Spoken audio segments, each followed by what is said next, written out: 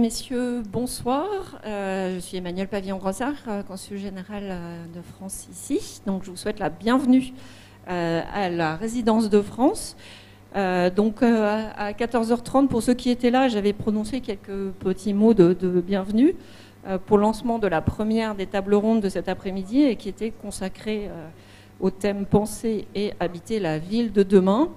Euh, donc pour ceux et celles qui nous rejoignent à présent, euh, donc je vous souhaite la bienvenue à la résidence de France euh, en ce temps un petit peu pluvieux. Donc ceux qui je vous remercie d'avoir bravé les intempéries pour être ici.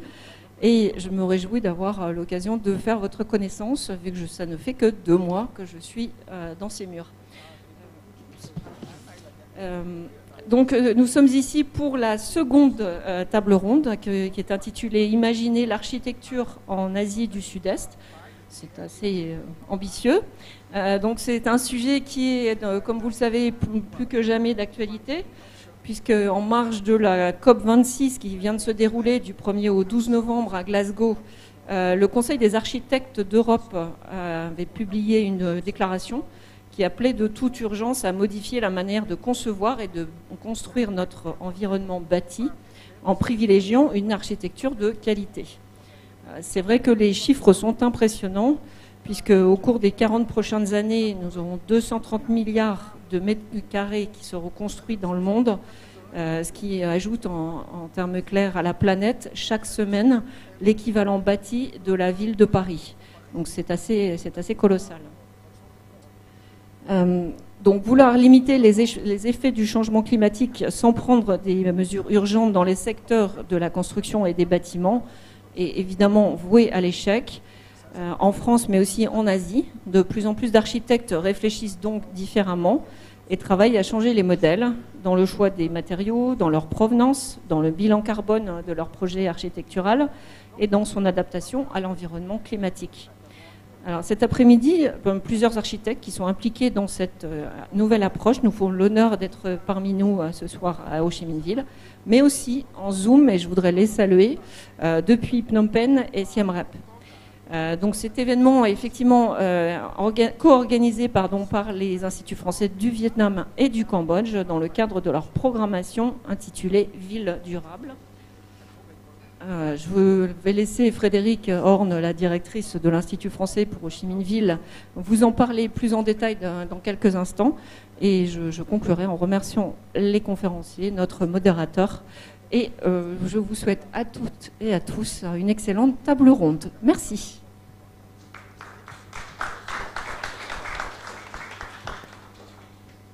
Alors bonjour à, toutes et à tous. Euh, donc au nom de l'Institut français du Vietnam, je suis très heureuse de vous accueillir ce soir euh, pour cette deuxième euh, table ronde de la journée. Et également, merci beaucoup à nos conférenciers, à notre modérateur, d'autant que je les salue leur implication et leur patience, puisque cet événement, en raison des aléas de la crise que nous connaissons tous, a été déjà modifié deux fois, donc nous sommes vraiment ravis aujourd'hui de pouvoir l'accueillir ici à la résidence de France et avec du public en présentiel, plus bien sûr euh, notre public qui vit en ligne, qui nous suit nombreux de France, du Vietnam et du Cambodge. Donc bonjour et merci à tous. Euh, alors, les tables rondes qui nous rassemblent aujourd'hui euh, s'inscrivent, comme le disait Madame la Consul Générale, dans le cycle global de programmation sur les villes durables, qui a été en partie euh, construit, co-construit avec l'Institut français du Cambodge. Euh, mon homologue, Valentin Rodriguez, prendra la parole dans quelques instants en Zoom depuis Phnom Penh pour vous dire quelques mots de leurs actions côté Cambodge. en ce qui concerne le Vietnam, juste vous dire que ce programme, qui aura lieu donc également sur l'année 2022, a débuté en janvier dernier à Hanoï lors de la Nuit des Idées et donc se poursuivra avec plusieurs rendez-vous l'année prochaine, dont un grand temps fort qui sera fin avril et qui s'appellera les Journées du développement durable. Cet événement sera euh, piloté par les instituts français de Hanoï et de Ho Chi Minh Ville. Alors, je voudrais juste finir cette très rapide euh, prise de parole par quelques mots pour remercier euh, nos partenaires pour leur soutien qui a rendu possible ces rencontres et celles à venir donc l'Institut français de Paris, la Fondation Vingroup pour l'innovation, le Centre international de recherche mathématique pour l'UNESCO, l'entreprise Artelia, l'entreprise Olmix et enfin l'entreprise Vusico. Je vous remercie de votre attention et vous souhaite une excellente table ronde. Donc je vais voir si Valentin peut nous rejoindre du coup. Bonsoir. Bonsoir. Vous, vous me voyez? Allô, allô? Bonsoir, est-ce que vous me voyez? Allô? Pas de retour. Bonsoir mesdames et messieurs. Donc, je suis Valentin Rodriguez, l'attaché euh, culturel et directeur délégué de l'Institut français au Cambodge. Euh, nous sommes euh, absolument très heureux du, travail co-construit avec tous nos collègues des instituts français du Vietnam. C'est un programme de débat d'idées sur lequel on s'est inscrit immédiatement, qui avait beaucoup de sens pour, pour nous. Euh, puisque nous, avons, euh, nous lançons également un programme sur euh, les questions liées à l'architecture, au développement durable, à l'écologie, au paysage. donc nous tissons des complicités avec le, le, Vietnam sur tous ces enjeux de la ville, de la ville aujourd'hui, comment habiter la ville aujourd'hui, sachant que c'est l'expansion des, des villes en Asie du, du Sud-Est. Donc je remercie l'ensemble des, panélistes. Je remercie euh, l'ensemble des équipes euh, des instituts français, euh, Vietnam et Cambodge pour leur participation. Et peut-être juste un mot rapide sur notre programme. Donc, on, débute une saison architecture développement durable que j'ai appelée ici Phnom Penh ville fertile et qui a trois grands axes, je dirais un axe qui est la, mise en place d'un prix d'architecture euh, et d'écologie avec euh, euh, six écoles d'architecture ici au, Cambodge et deux écoles d'agronomie. On a mis en place des, équipes d'étudiants qui travaillent sur un, exercice, on va dire, qui est un réaménagement d'une rive du Mekong ici à, Phnom Penh. Et donc il y aura la remise d'un prix, le prix archi-éco de euh, l'Institut français de, Phnom Penh. Donc ça, ça sera euh, en janvier. Ils ont commencé à travailler avec, entre autres, avec Yvon Chalm à, mes côtés. Et c'est très important cette dimension euh, pédagogique, d'éducation et de sensibilisation aux enjeux du développement durable et de l'architecture. tout cela sera accompagné d'un programme d'exposition. Alors, le prix d'architecture se tiendra au Musée national du Cambodge. Euh, une exposition intitulée AJAP, co-construite avec la Cité de l'Architecture à Paris, euh, sur euh, le prix AJAP qui est décerné par le ministère de la Culture pour des paysagistes. Et le métier de paysagiste est extrêmement également important aujourd'hui en regard de ces enjeux. Donc c'est une vingtaine de projets de paysagers récompensés en France. Euh, également à l'Institut français. Donc ça, c'est à l'URBA, ça se tiendra à l'URBA, l'Université royale des beaux-arts, hein, où il y a donc un département d'architecture. Et puis euh, à l'Institut français, nous accueillerons une exposition également co-construite avec la Cité de l'architecture, qui s'intitule Réenchanter le monde, et qui est également euh, sur les grands enjeux du développement durable à travers des exemples sur la planète. Voilà, je ne vais pas monopoliser plus longtemps euh, la parole. Je vous, euh, je, vous remercie à nouveau euh, pour, bah, pour cette coopération fructueuse et je, je remercie tous les panélistes. Merci à vous.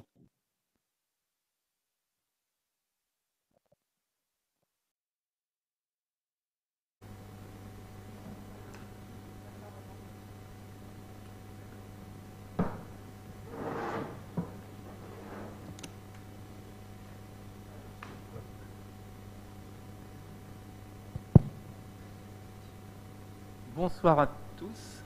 Je vais enlever le masque. Plus agréable. Bonsoir à tous. Donc, euh, merci tout d'abord à Madame euh, la Consul générale de France de nous accueillir ici, et puis à l'Institut français du Vietnam et du Cambodge pour organiser ces conférences sur des thèmes quand même euh, d'actualité dans ces deux pays et aux enjeux quand même majeurs.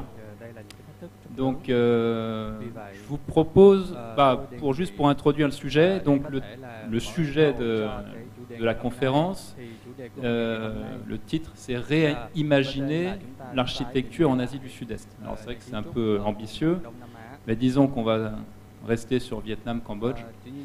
Et pourquoi ce titre Parce qu'il y a, a priori, il y a quand même un réel besoin de, de repenser l'architecture dans ces deux pays.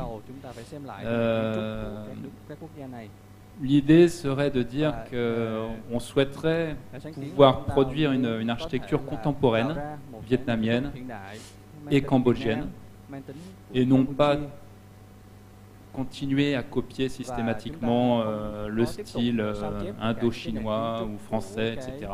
Il est temps de produire une vraie architecture avec une identité forte de ces deux pays Deuxièmement, euh, il paraît important de créer une architecture bioclimatique, c'est-à-dire une architecture qui est conçue pour euh, un climat spécifique. Donc là, on se trouve en zone tropicale.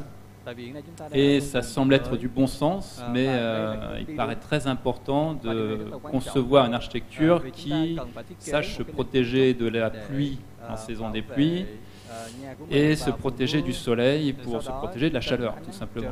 Donc c'est vraiment du bon sens, mais euh, il semble que ça a été un peu oublié les dernières décennies.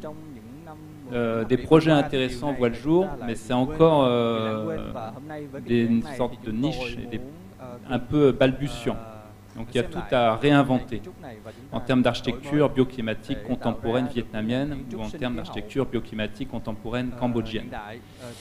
Euh, enfin, je dirais qu'il est aussi important de regarder euh, l'architecture vernaculaire dans ces pays. Euh, généralement, l'architecture vernaculaire, c'est-à-dire l'architecture traditionnelle, on peut appeler ça aussi comme ça, elle elle prend sa source euh, de l'expérience de deux millénaires de vie dans ces pays. Et donc, souvent, euh, elle a fait ses preuves, on va dire.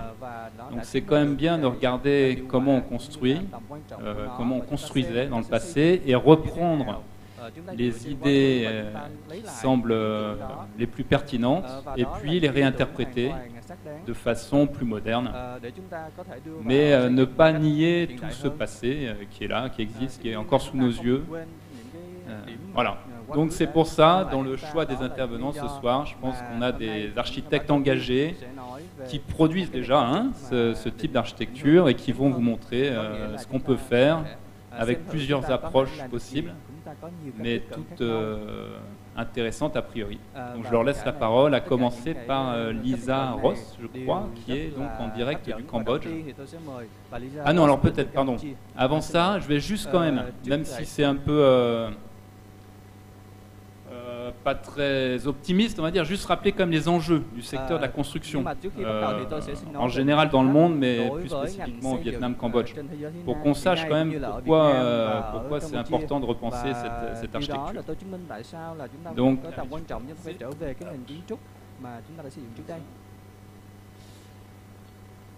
donc pour mémoire, pour euh, comme information importante, le secteur du bâtiment en général, hein, c'est environ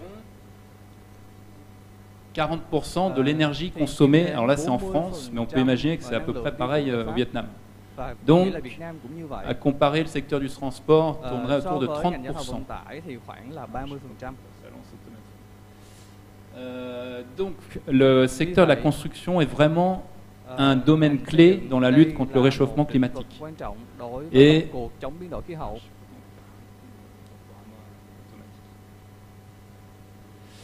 Donc j'aime bien cette image qui montre un peu aujourd'hui, on est en pleine pandémie de Covid.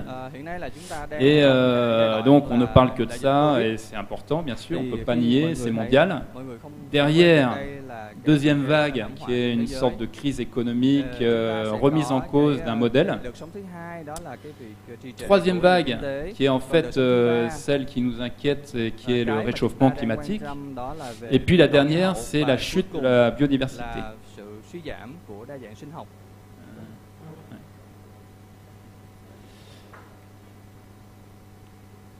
Et la construction a sa part de responsabilité dans, toutes ces choses-là. Euh, l'impact de la construction est énorme sur la pollution de l'air. Donc euh, des villes comme Ho Chi Minh, euh, Hanoï, et puis moindre, un petit peu moindre, mais au Cambodge, un peu pareil à Phnom Penh ça devient un sujet qui fait que euh, ça a un effet négatif sur la santé. Et puis, en termes d'attractivité des villes, euh, c'est un vrai sujet aussi. Hein. quand on parle d'attractivité des mégalopoles, euh, beaucoup de gens ont fui les villes chinoises à cause de ces problèmes de pollution et on arrive un peu avec les mêmes problèmes au Vietnam, Cambodge. Donc comment lutter contre ça euh, après, il y a tout l'aspect euh, matériaux, le bilan carbone des matériaux. Donc les matériaux, c'est euh, de l'énergie à tous les niveaux, hein. à la fois pour les extraire, pour les transporter, pour les transformer, puis pour les mettre en œuvre. Donc il y a une vraie réflexion à avoir sur les matériaux qu'on utilise en architecture pour réduire le bilan carbone de, de nos bâtiments. Et puis, se pose la question des déchets. Donc juste, euh, j'ai mis un graphique pour donner une petite idée, mais voilà, après, quand on démolit un bâtiment, on se retrouve avec euh, voilà, 66% de déchets euh, inertes, et puis des déchets aussi industriels, et, des déchets dangereux. Qu'est-ce qu'on en fait?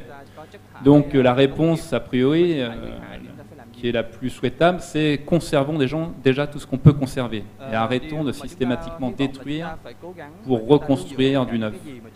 Euh, considérons l'existant comme euh, quelque chose qui a une valeur.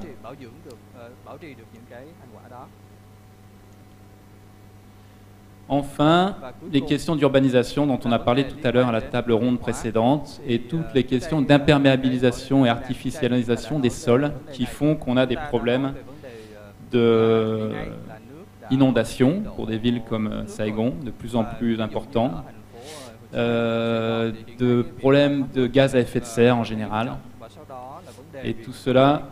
Et puis, euh, avec l'artificialisation des sols et euh, le manque d'ombrage dans les villes, on a le problème des îlots de chaleur. Donc,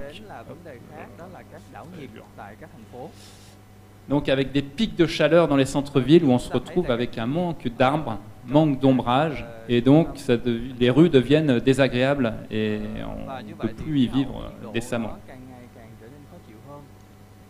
Enfin, un des problèmes qu'on voit, et là c'est euh, donc ce qu'on appelle le greenwashing.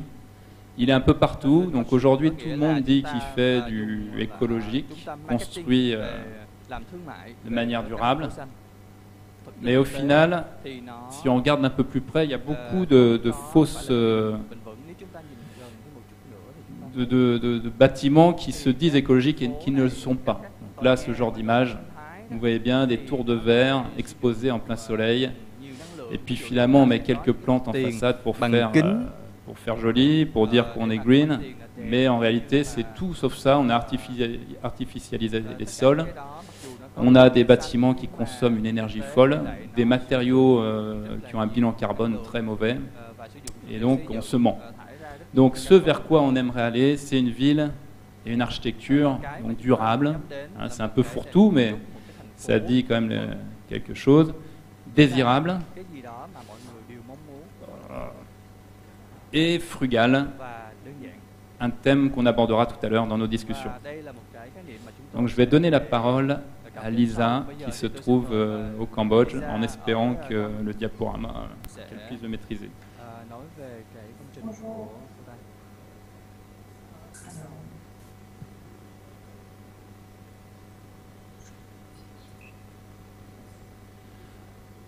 Lisa, tu nous entends?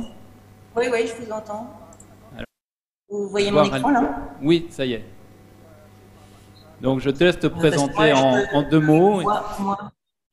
Ben, très brièvement, moi, je suis donc euh, architecte associé dans une agence qui s'appelle Asma Architects, qui est implantée au Cambodge et en France, mais principalement au Cambodge. Euh, donc, il y a un bureau à Siem Reap et à Phnom Penh.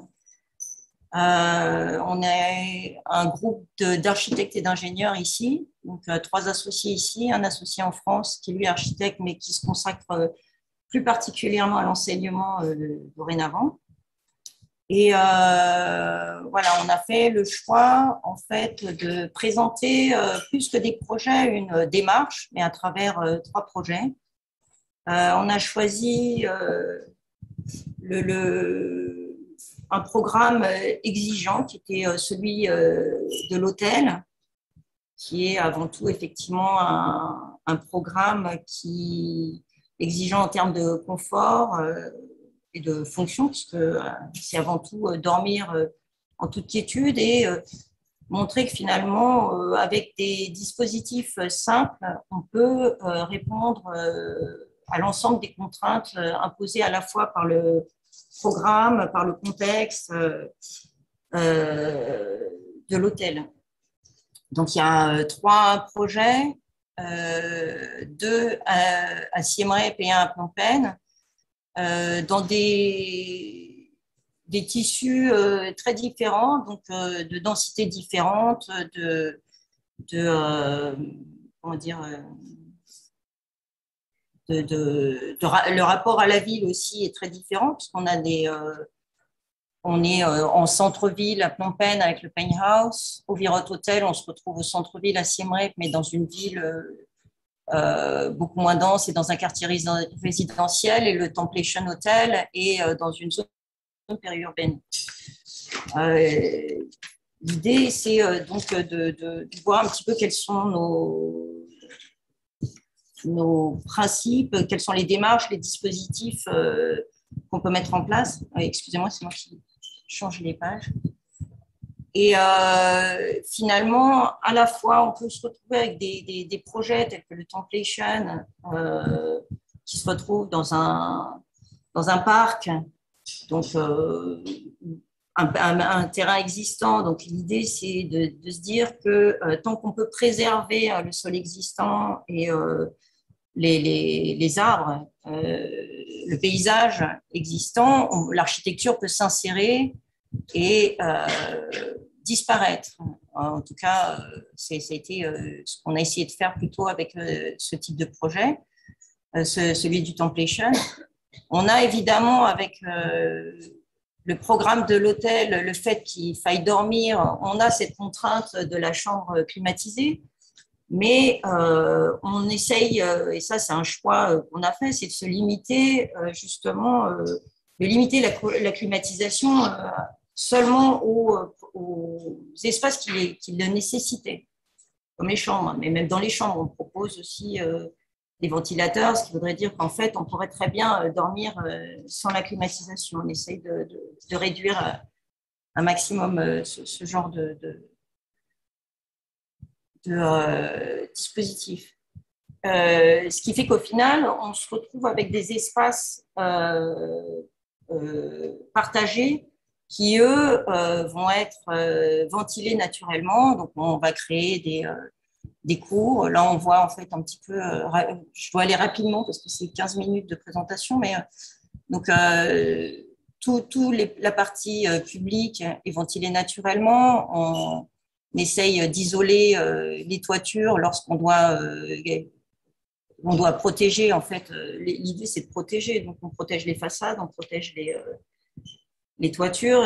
Ici, c'est le projet du Virot Hotel. Donc, on, on, on est en ville à Siem On a des, euh, des euh, voisins, donc euh, on, retourne l'hôtel plutôt sur l'intérieur et en fait, on crée des espaces vides qui permettent aussi de créer des traversants et de ventiler naturellement les différents espaces. On change d'échelle, on joue un peu sur les échelles, on, nous, on a fait souvent le, choix de double toiture pour isoler euh, les dalles. Donc, soit c'est des euh, toitures avec euh, une ventilation, soit des toitures plantées. Des toitures plantées aussi parce que ça permet d'absorber une partie de l'eau.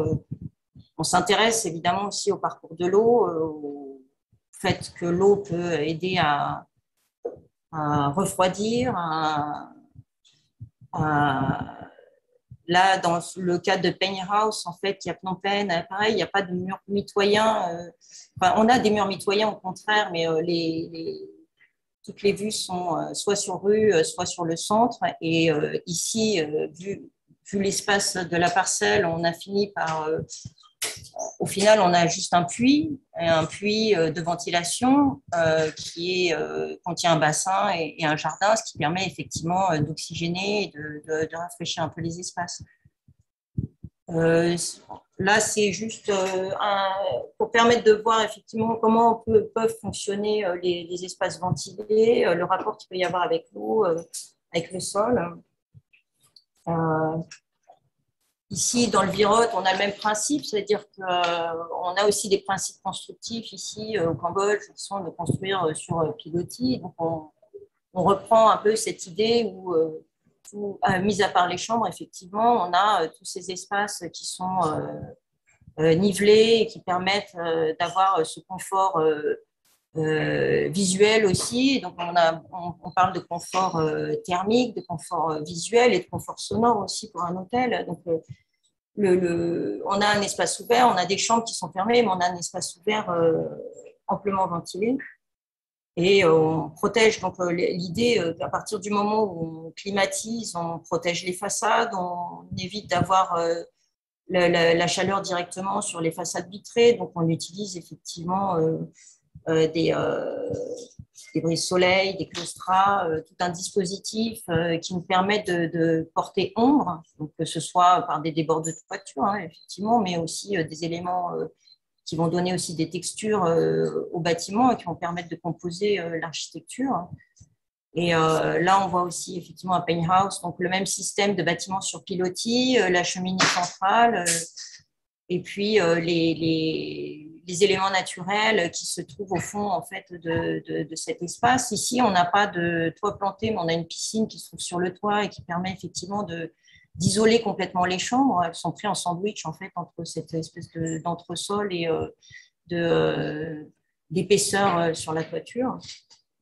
Et donc là, c'est juste des exemples d'éléments qu'on peut fabriquer ici. La manière aussi, à Templation, en fait, seules réellement les chambres sont, sont climatisées puisque les salles de bain sont ouvertes et l'ensemble des espaces qui se trouvent euh, dans, le projet sont des espaces ouverts. Euh. Donc euh, ici, on voit effectivement qu'il y a une toiture plantée qui permet d'isoler. Le terrain n'a pas été renvoyé, donc il fallait pouvoir aussi contenir les eaux de pluie. Donc la toiture plantée nous aide aussi en ce sens-là.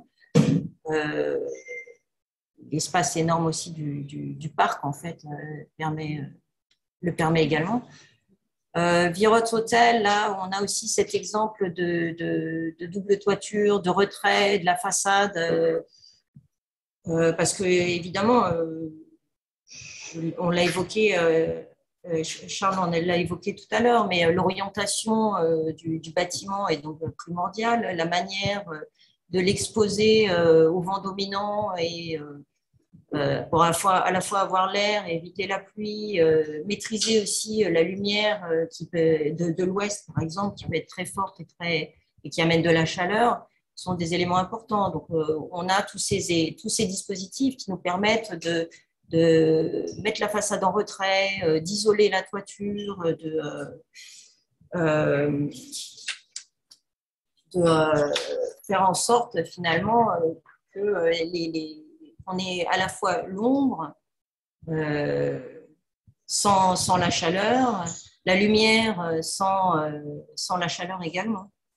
je ne sais pas si je suis allée un peu vite.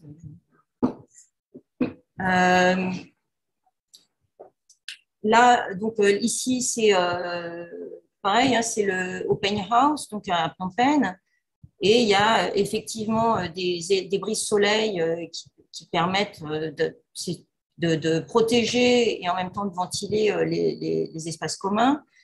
Euh, on voit sur la coupe, en fait, les retraits qui peuvent être donnés, la protection, parce qu'on utilise les plantes comme isolants, mais aussi comme protection visuelle, comme il y a aussi, même si ça ça, ça, fonctionnera pas de manière complète, mais l'idée aussi c'est d'oxygéner un petit peu cet air et de, d'ouvrir un petit peu euh, les, les, projets euh, euh, sur, sur, sur l'extérieur. ici, c'est juste une planche qui permettait aussi de... Parce qu'en fait, il, y a il y a effectivement la démarche de la prise en compte du, du site, du, de l'orientation, évidemment du climat, puisqu'on vit au Cambodge, euh, de, ces, euh, ces principes qui vont nous aider à isoler de manière. Je considère que c'est des éléments qui sont très simples à mettre en, œuvre ici, en fait, et qui sont au final assez faciles à. évidemment, c'est un long travail. Hein. Chaque projet est un long processus de réflexion et euh, malgré toutes les contraintes, qu'elles soient effectivement euh, contextuelles, euh, qu'elles soient dans l'inscription du territoire ou alors que ce soit l'histoire, le programme, enfin l'économie même ou la technique qu'on voudrait employer dans les bâtiments, tous ces éléments peuvent être mis en œuvre assez simplement et en les mettant en œuvre dans une démarche créative euh, et en produisant, en fait, on peut produire énormément euh, de.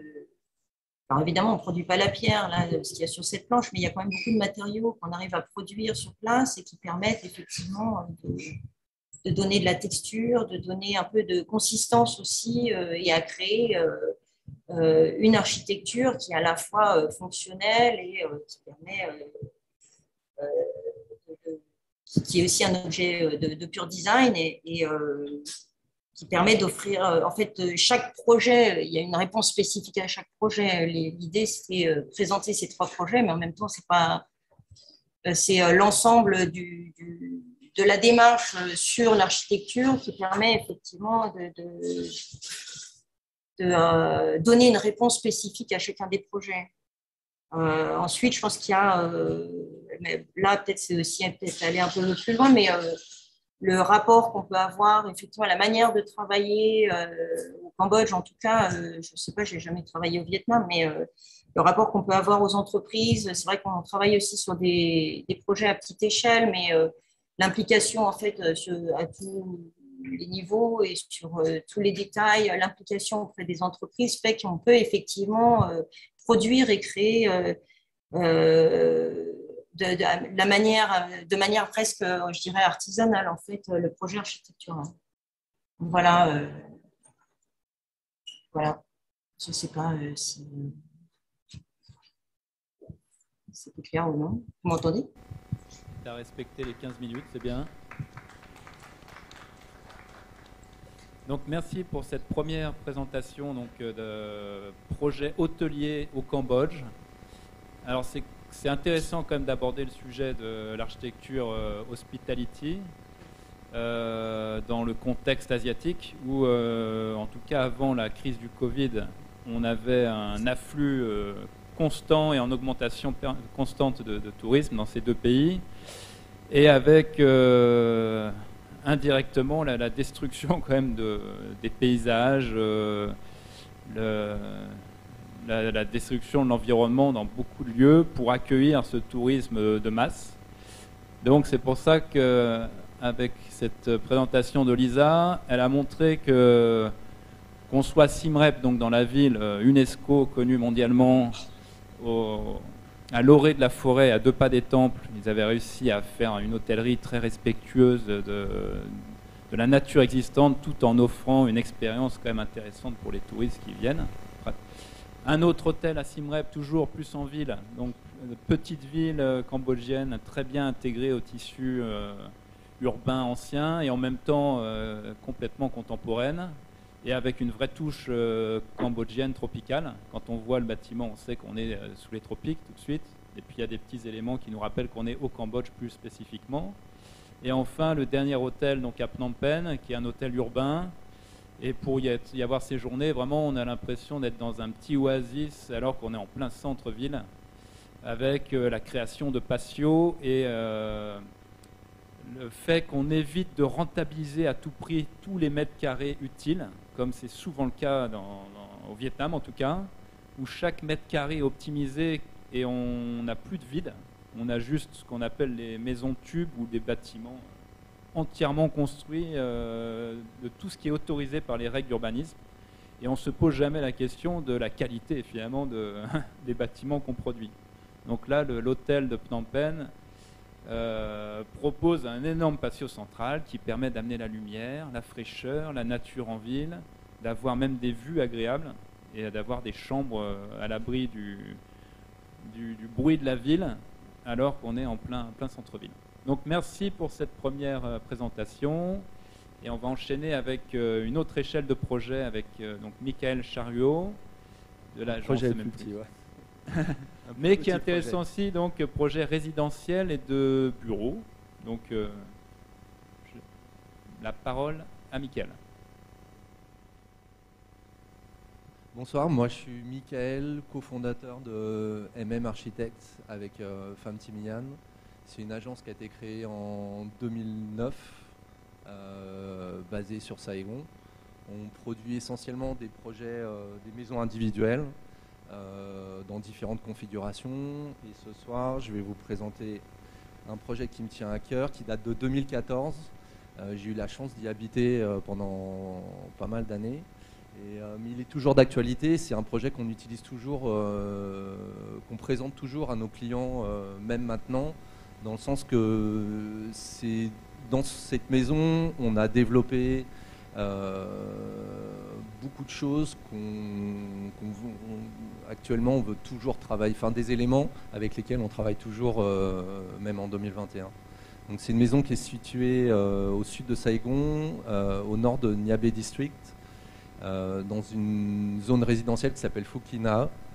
Euh, on a eu la chance de, pouvoir développer euh, cette maison dans une zone où normalement euh, il y a une maison témoin qui doit être euh, dupliquée. Donc je pense que ça s'inscrit aussi, c'est pas mal. Enfin, ça s'inscrit un peu aussi dans, le, dans ce qu'on voudrait expliquer peut-être ce soir. C'est qu'il y a peut-être moyen de parfois de à la fois de proposer aux développeurs, euh, soit en résistance aux développeurs ou soit avec les développeurs, euh, des projets qui sont un petit peu plus, euh, euh, qui vont être plus intelligents quelque part sur euh, le climat, mais qui vont pouvoir proposer aussi peut-être une expérience différente euh, plutôt qu'une maison témoin euh, qui va développer un style euh, néo-victorien et représenter, enfin, qui va tendre vers des choses. Peut-être les gens, les gens vont, vont, vont, vont, vouloir euh, aller vers ça facilement, mais avec, de, avec euh, un, peu de, un peu de travail, on peut donner envie à des choses un peu différentes. Euh, on- donc après, hein. Donc on est sur euh, une parcelle d'angle. On est tout au bout de la rue, et donc du coup on a la chance de pouvoir développer la maison euh, sur trois côtés. C'est une maison semi-détachée, c'est-à-dire que dans le euh, dans un, quand le développement sera fini, il y aura une maison qui sera collée sur la droite. Et à- par contre, après, on est ouvert sur trois côtés. Euh, ce qu'on a voulu développer en fait dans, dans ce projet, c'est euh, l'expérience. euh, je, vais, je vais faire des allers-retours en fait, parce que c'est un peu dans le désordre. Voilà. Vraiment l'aspect principal de cette maison, c'était développer une typologie sur pilotis. Donc on est, on est peut-être au-delà du Cambodge, au-delà du Vietnam, mais plus généralement Asie du Sud-Est. La maison sur pilotis, qu'est-ce qu'elle peut apporter dans un contexte euh, urbain, euh, dans une ville euh, comme euh, dans une ville comme Saigon? Euh, donc rapidement, je vais peut-être euh, passer sur. euh, donc voilà, c'est une typologie entièrement sur pilotis, zéro fenêtre euh, au rez-de-chaussée. Euh, on est sur un plan ouvert euh, qui, avec la cuisine, euh, la table à manger. Et au lieu de développer un, salon, euh, un salon traditionnel avec un canapé, on, a décidé de garder un espace euh, vraiment neutre. Et notamment, on a pu poser euh, quelque chose vraiment, là pour le coup, super traditionnel vietnamien. On a eu la chance de pouvoir avoir une, grande plateforme, comme on peut le voir dans, plutôt dans les, zones rurales. Plus précisément, après, donc, par rapport au thème de ce soir, je vais plutôt parler, je pourrais en parler des heures en fait de cette maison, mais je vais plus euh, parler euh, de l'aspect bioclimatique euh, de la maison. En toute honnêteté, quand on a commencé à designer cette maison, on n'a pas vraiment poussé la, la- la démarche bioclimatique. Elle est venue plutôt naturellement. Commencer par une maison sur pilotis, ça fait sens euh, avec, le climat. Ça répond aussi à des problématiques euh, qui sont plus euh, de l'ordre de, de- l'aspect urbain et de la densité, de la future densité de, ce- ce- cette zone. Euh, être sur pilotis dans une, dans une parcelle de 10 mètres par 20, ça nous permettait en fait de, de profiter de la totalité de l'espace. Euh, donc on est, on est totalement ouvert euh, sur la totalité du terrain et on n'est pas réduit euh, à, à, un espace fermé. Donc en fait finalement on gagne, des, des, on gagne des mètres carrés de vue et, de, et aussi d'espace de, à pratiquer. En même temps, on est dans une zone qui va être, qui va être, qui va être animée, peut-être bruyante dans le futur. donc on a réussi avec finalement des murs d'enceinte assez hauts à préserver une certaine, euh, à, préserver la, à préserver l'intimité du, euh, l'intimité quand on est, quand on habite dans cette maison. Euh, donc on est totalement ouvert sur le rez-de-chaussée, avec une petite piscine en fond de parcelle. Donc pareil, cette piscine, elle vient d'un désir d'avoir une piscine dans la maison, mais finalement aussi en principe bioclimatique, ça marche pas mal parce que ça permet, avec la ventilation qui passe euh, sous la maison, euh, de sensiblement réduire euh, la température. Et c'est vraiment, pour l'avoir pour l'avoir expérimenté, ça marche vraiment. C'est pas là pour le coup, c'est pas c'est pas ça, ça, marche vraiment. L'air, le, le, flux d'air quand il passe au-dessus de au-dessus de cette piscine, qui n'est pas ensoleillée du fait d'avoir les hauts murs, sensiblement réduit la température, euh, euh, dans l'espace euh, sous la maison. après, on a développé des murs ajourés aussi. C'est le même principe un peu qu'on a pu voir dans les, projets précédents de l'ISA. les, les, seuls espaces avec la climatisation sont les chambres. On a deux chambres, donc deux clims. Autrement, tous les autres espaces sont naturellement ventilés euh, à l'aide de, murs ajourés euh, qui, euh, qui sont en briques, donc en recyclées.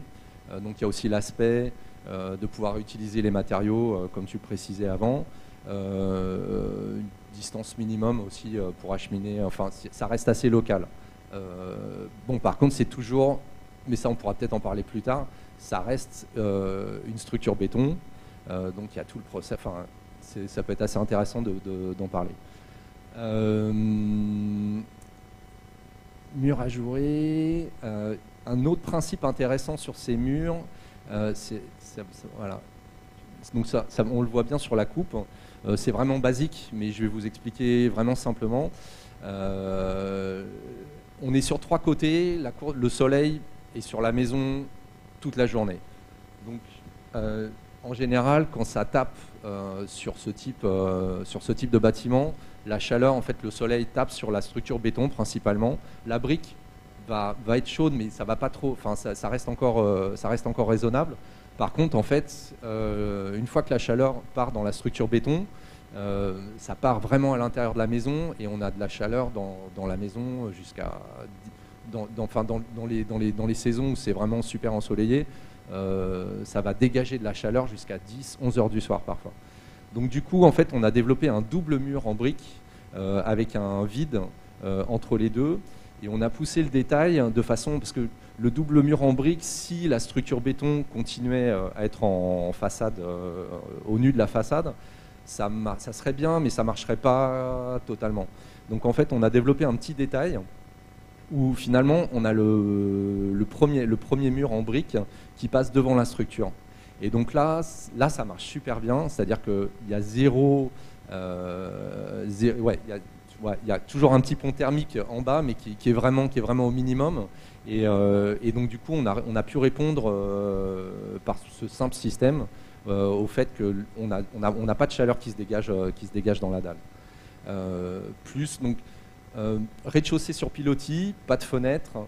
Euh, après aussi, on a été raisonnable sur la surface vitrée, c'est-à-dire que, mais, pareil, en fait, on s'est pas dit. Euh, souvent sur Saigon, on n'a pas de vue à aller chercher vraiment, donc c'est plutôt un, univers, et, encore plus dans la maison individuelle, c'est plutôt un univers qui, est tourné sur lui-même.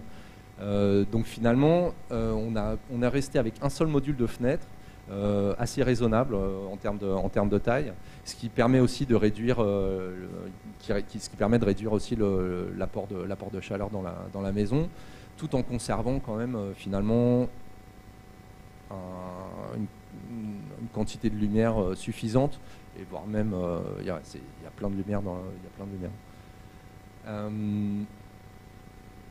après, un autre aspect intéressant de cette maison, c'est qu'on est sur une, construction vraiment standard, euh, dans le sens que le toit, c'est une toiture béton aussi. Euh, donc il n'y a pas de, c'est pas, ça donne l'aspect. On pourrait penser que c'est une toiture euh, traditionnelle qu'on pourrait voir. non, c'est une toiture béton comme toutes les maisons sur Saigon. Par contre, ce qu'on a tenté, c'est on s'est dit, ok, on voulait avoir cet aspect visuel un peu, euh, peut-être c'est pas extravagant, mais un peu, un peu spécial. Et en même temps, au final, ça a apporté quelque chose euh, d'assez important, toujours en termes de, en termes de, sur les questions thermiques. C'est que finalement, en mettant un, une couche euh, de feuilles de palme en technique vraiment traditionnelle, avec un tout petit vide d'air entre la dalle béton et, et cette couche, et cette couche de, et, et la palme, euh, pareil, on a réussi à ne pas avoir du tout euh, de contraintes thermiques euh, dans l'espace de l'attique. Donc je peux, je peux repréciser parce que peut-être que je vais un petit peu vite. Et, donc en fait, je parle de cet espace-là, donc vraiment où on est en contact direct avec la toiture et où traditionnellement, s'il n'y a pas de système sur la toiture, c'est la chambre qui est tout en haut et, enfin, le, confort est quand même super super limité. Alors que là, tout au long de la journée, il euh, n'y a, pas de problème en fait. Donc l'aspect euh, toiture euh, en feuille de palme peut paraître un petit peu, une fois qu'on sait que c'est une toiture béton, on pourrait se dire ouais c'est un petit peu comme un élément décoratif je dirais, mais en fait pas du tout. Euh, c'est à la fois décoratif et quelque part c'est ce que je voulais aussi, c'est cet aspect, euh, c'est l'aspect visuel. Mais finalement, ça reste assez intelligent aussi au niveau euh, sur les questions thermiques. après, on, a eu beaucoup de clients quand on a montré cette maison-là qui nous posaient les questions. Oui, mais l'entretien d'une toiture, d'une toiture en feuille de palme. Donc effectivement, il y, a des, y a des questions d'entretien, mais globalement, ça vaut le coup, dans le sens qu'après, on a, expérimenté euh, avec un, une, euh, comment dire, avec des tuiles traditionnelles, et ça marchait pas du tout, du tout pareil. Euh, donc il y a peut-être un, léger surcoût financier, mais en termes de confort, et puis après aussi en termes euh, visuels, enfin, et en termes donc ce qu'on pourrait développer, euh, si on étend la, réflexion sur euh, développer une identité au bâtiment, ces choses-là, ça reste super intéressant. après, c'est une architecture super simple, structure béton, remplissage en briques, euh, le mur aussi, euh, le mur, euh, le mur d'enceinte, c'était quelque chose d'assez intéressant et finalement c'est quelque chose aussi qu'on retrouve, qu'on a retrouvé pas mal après dans, pas mal de projets sur Saigon. C'était développé en direct sur le chantier avec, avec, la, avec, les, avec les ouvriers en fait, développer des techniques super simples pour, pour apporter de la texture, pour, pour apporter des, éléments, des éléments visuels dans la maison euh, qui, sont, c'est des mises en œuvre super simples, notamment en fait là, donc sur ce mur, ce, mur d'enceinte, c'est euh, du mortier. Euh, et après, en fait, on demandait aux ouvriers, c'était juste avec des planches de bois, d'arriver à faire, ces, d'arriver à faire ces, lignes. Et c'est pareil, ce qui est, assez intéressant, c'est avec peu de moyens, arriver à, développer quelque chose de différent. Euh, qui peut donner une identité assez forte et qui participe aussi. C'est pas c'est pas seulement comment dire c'est pas seulement des préoccupations d'architecte. C'est tous ces petits éléments là peuvent aussi euh, participer à une certaine expérience euh, de l'habitant. donc en gros, c'est, je pense qu'il y a un réel intérêt et qui fait partie aussi du thème de, cette, de, cette, de, ce soir, qui est aussi arrivé au-delà de oui, il faut être intelligent avec l'environnement, il faut être intelligent avec, ce qu'on, avec, toutes ces choses-là. Ça peut partir aussi de quelque chose qui finalement peut être plus désirable pour une majorité de gens, qui est voilà, je me sens bien dans ma maison, euh, j'ai quelque chose de, c'est quelque chose de spécial qui me correspond,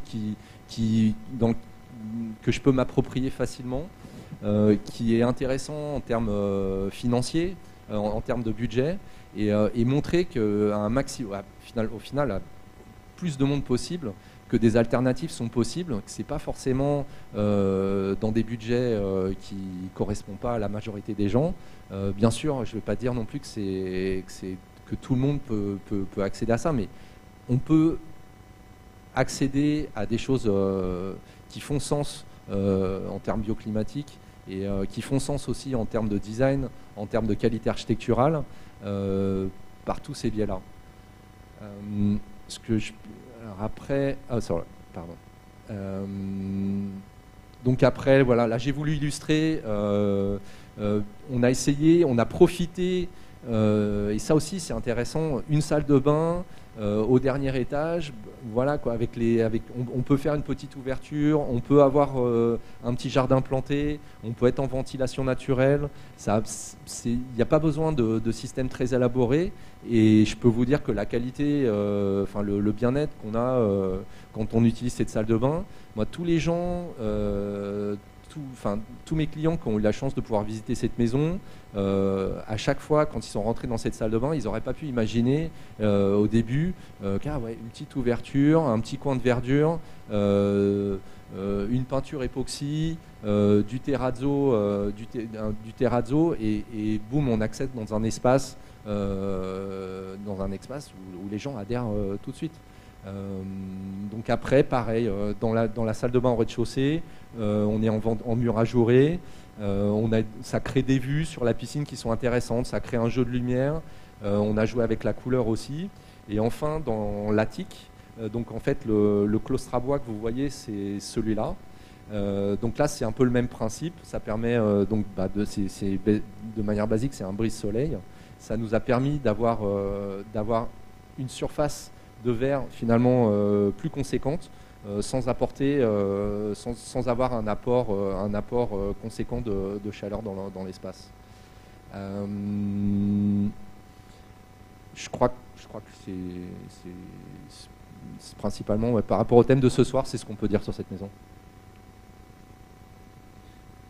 Merci Mickaël pour cette belle présentation. Ça donne envie d'aller visiter. Euh, je vais passer peut-être la parole assez vite au prochain intervenant pour euh, garder du temps pour le débat euh, à suivre, si jamais il y a des questions.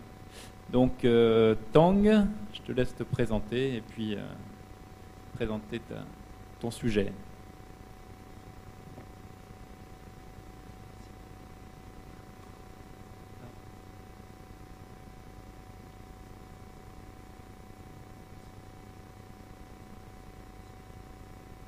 Bonjour tout le monde, je suis euh, très honoré d'être là pour partager mes expériences. Euh, je suis juste un tout petit peu embarrassé avec ce sujet qui est très ambitieux euh, parce que Atelier, Atelier Modat que j'ai fondé avec ma femme il y a quelques années, c'est encore un petit atelier. On arrive produire que quelques pas grand-chose. Euh, par contre, heureusement, avec euh, très peu de pression de production, on arrive à faire euh, les choses qui est cohérent par rapport à certaines valeurs qui est chère pour nous. Et donc, je vais partager ici avec vous. J'apporte ici deux questions que je me suis confronté que je travaille, c'est la question de substance et la question de, de renseignements qu'on peut avoir euh, dans le vernaculaire pour euh, construire ces substances dans, dans l'architecture euh, au Vietnam aujourd'hui. donc, je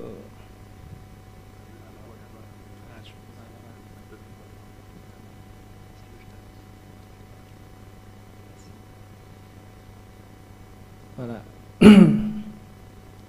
Donc, je, je, vais commencer d'abord par euh, un petit schéma qui montre un peu mon processus, de, notre processus de, travail, et qui sert aussi comme le tram pour qu'on va pour qu'on appréhende les deux, qu'on visite les deux projets suivants. donc, je suis toujours convaincu que l'espace de l'habitat, c'est le, prolongement corporel de l'habitant jusqu'à son milieu. Du coup, le travail de, conception de l'espace de, l'habitat, pour moi, c'est un travail euh, aller-retour depuis euh, le très grand territoire plutôt euh, vague et large, c'est le rêve de la maison, de l'habitant, jusqu'à au carré euh, en très gras là, pour moi qui, est, euh, le, qui représente euh, l'habitant. Et enfin, c'est pour moi, c'est comme un processus d'extraction de, toutes les matières et des composants sensibles de, de, tous ces successions de, territoires. donc, on peut voir le, l'importance, à part le rêve de l'habitant sur sa maison, c'est le paysage vernaculaire et le site euh, lui-même, le Dieu. Et comme ça, euh, euh, je crois toujours qu'on peut obtenir quelque chose à travers pour construire la maison avec une bonne implantation, une bonne structure, une bonne enveloppe et des ouvertures qui qui aide à la maison à avoir, l'authenticité, et la substance, et, euh, qui est riche de sens en fait. Donc, euh, le premier projet euh, qu'on est sollicité à faire un projet à Kwangai, c'est plutôt intéressant d'abord parce que c'est le projet, euh, l'habitant, c'est à la fois le, fils et le père. En fait, l'habitant principal, c'est le père qui est un constructeur local très très simple et aussi euh, un agriculteur qui habite sur place. Il a son champ, à, moment, il a son champ de riz derrière et euh, en fait, il a une vie très très simple, une maison très sobre. Euh, jusqu'à maintenant, ça devient un peu précaire. Et un fils qui devient un directeur financier à Saigon, qui à un certain moment peut apporter tellement d'argent euh, pour construire la nouvelle maison pour son père. Et donc, le, en fait, il n'y a pas beaucoup de, de euh, obligation stylistique à part le brief qu'il faut euh, faire une maison en briques euh, de terre cuite.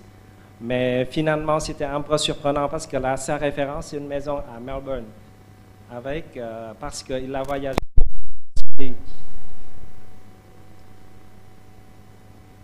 Par contre, quand on peut regarder tous les composants sensibles de la maison euh, existante de son père, en fait, euh, ma première impression, je dis que en fait ici tout est beau et pourquoi il faut changer? Euh, en fait, si jamais il n'y a pas un mélange d'intérêt d'habitation entre le fils qui vient de plus en plus souvent maintenant à Kwangai pour fonder ses affaires, et en fait le, le, père il peut vivre tranquillement très sereinement dans euh, cette petite maison qui a pas mal de charme avec la succession de tous les espaces de l'extérieur jusqu'à l'intérieur. Et euh, du coup, en fait, je dois travailler sur tous les, faire sortir tous les, mots clés pour fusionner un peu le rêve du père et, et le fils pour pouvoir cerner euh, le, projet, tailler le projet à la fois pour le père et, le fils.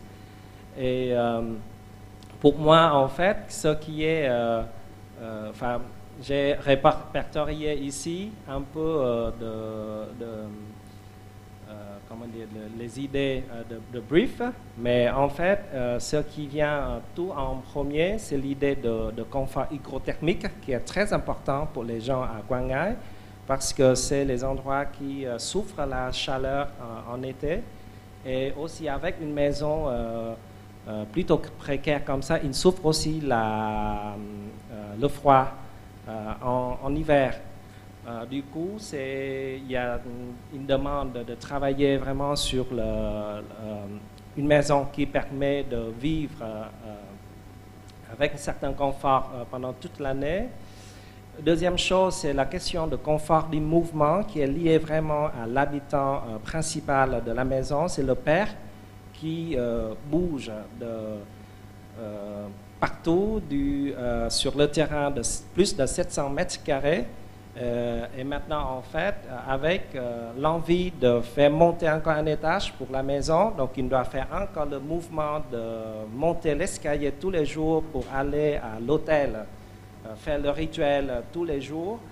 Et du coup, en fait, c'est un travail de identifier tous les espaces et tous ces mouvements pour pouvoir supporter ce, mouvement.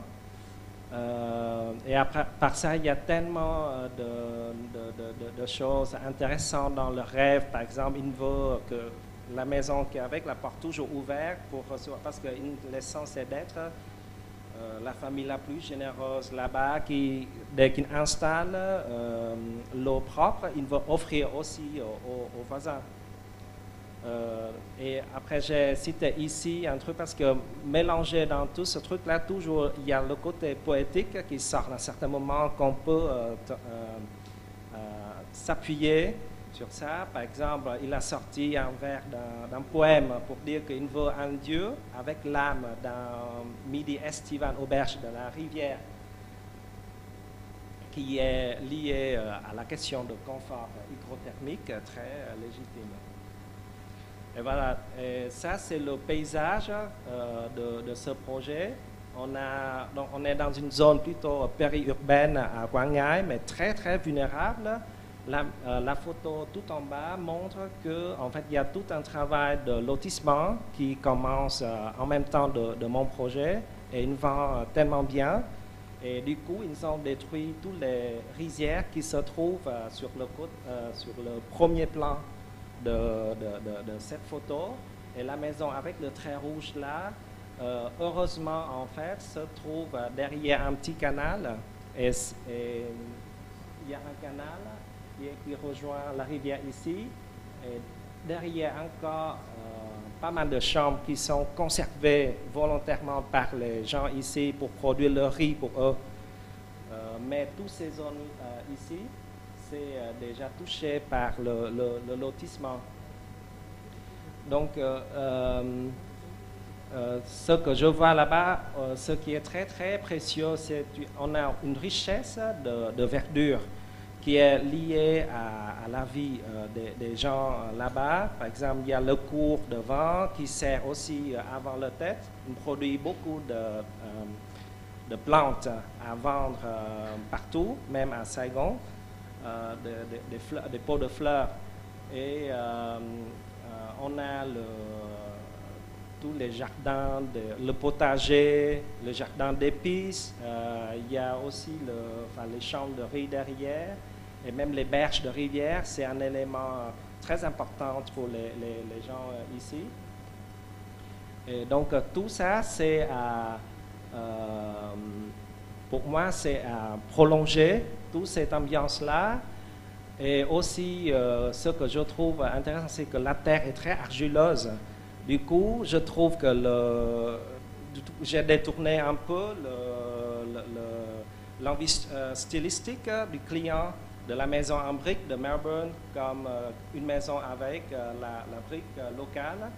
Et c'est juste la question de comment utiliser ça avec une certaine légèreté et je pense qu'en fait, avec la brique, on peut aussi euh, facilement, euh, on peut voir le vieillissement euh, naturel avec le temps. Et c'est ce côté-là que j'ai retenu.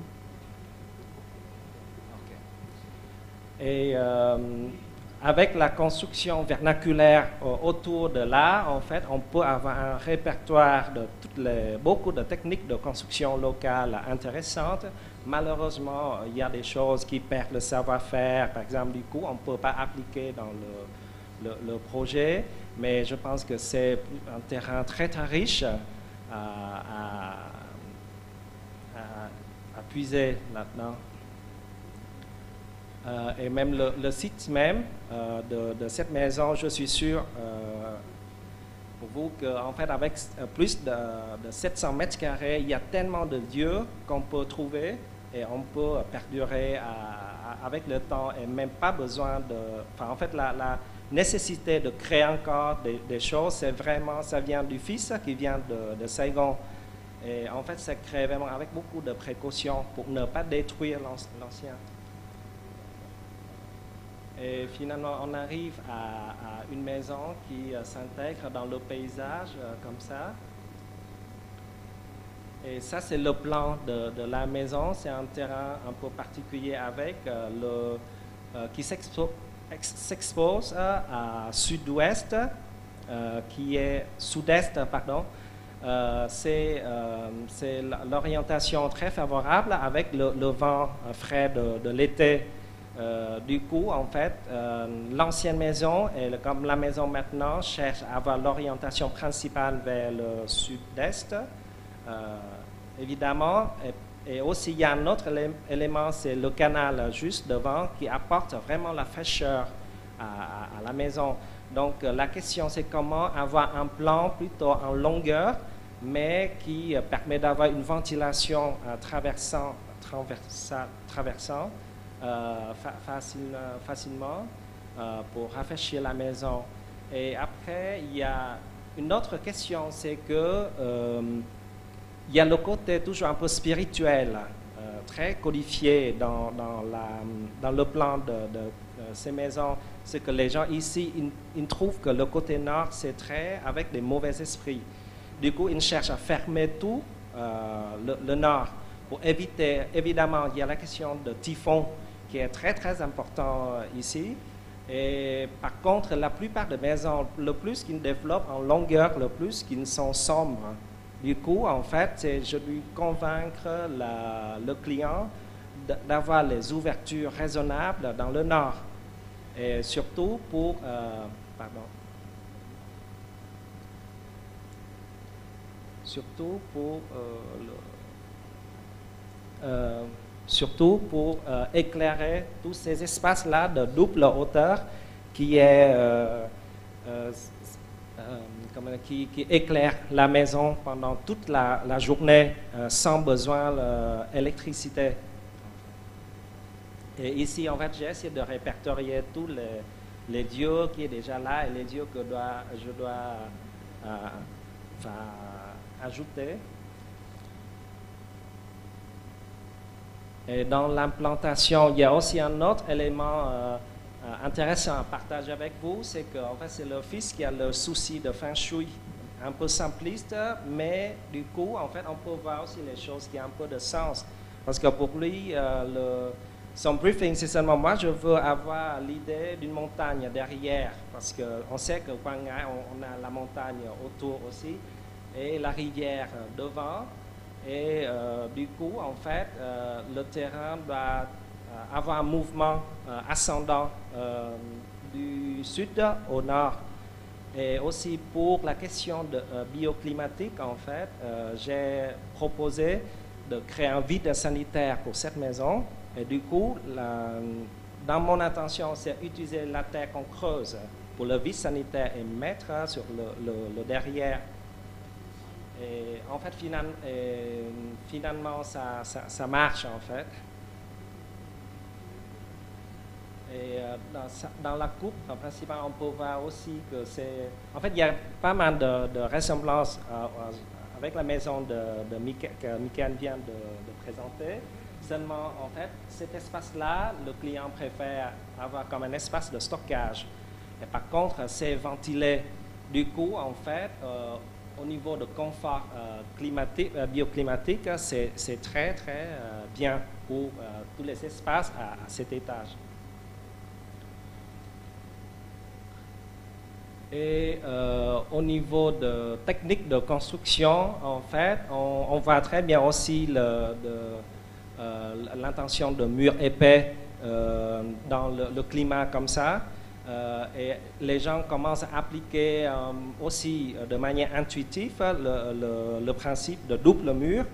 sauf que j'essaie d'intégrer encore une couche d'isolant et ventilé et essayer de traiter bien les, la ventilation avec les, briques de ventilation et ça peut faire partie aussi du langage de, la façade et, euh, et, ça marche assez bien jusqu'à maintenant. Et ça, c'est toute la façade du nord en fait. Euh, euh, je, vais ajouter encore une chose, c'est que l'idée de ce brique, de ce mur double pot, ça arrive parce qu'en fait, avec l'orientation de la maison, on, a dû respecter vraiment euh, le schéma donné par le, père. Parce que, en fait, c'est la maison euh, est implantée sur le même emprise de l'ancienne maison. Et il veut avoir une maison qui se développe en longueur avec la, bipartition. Euh, il y a espace principal, espace secondaire en largeur et du coup, en fait, on a tous les murs latéraux euh, qui s'exposent à l'est et ouest et qui reçoivent tellement de, chaleur. Et du coup, ce mur-là, ça, euh, isole très bien euh, la, chaleur.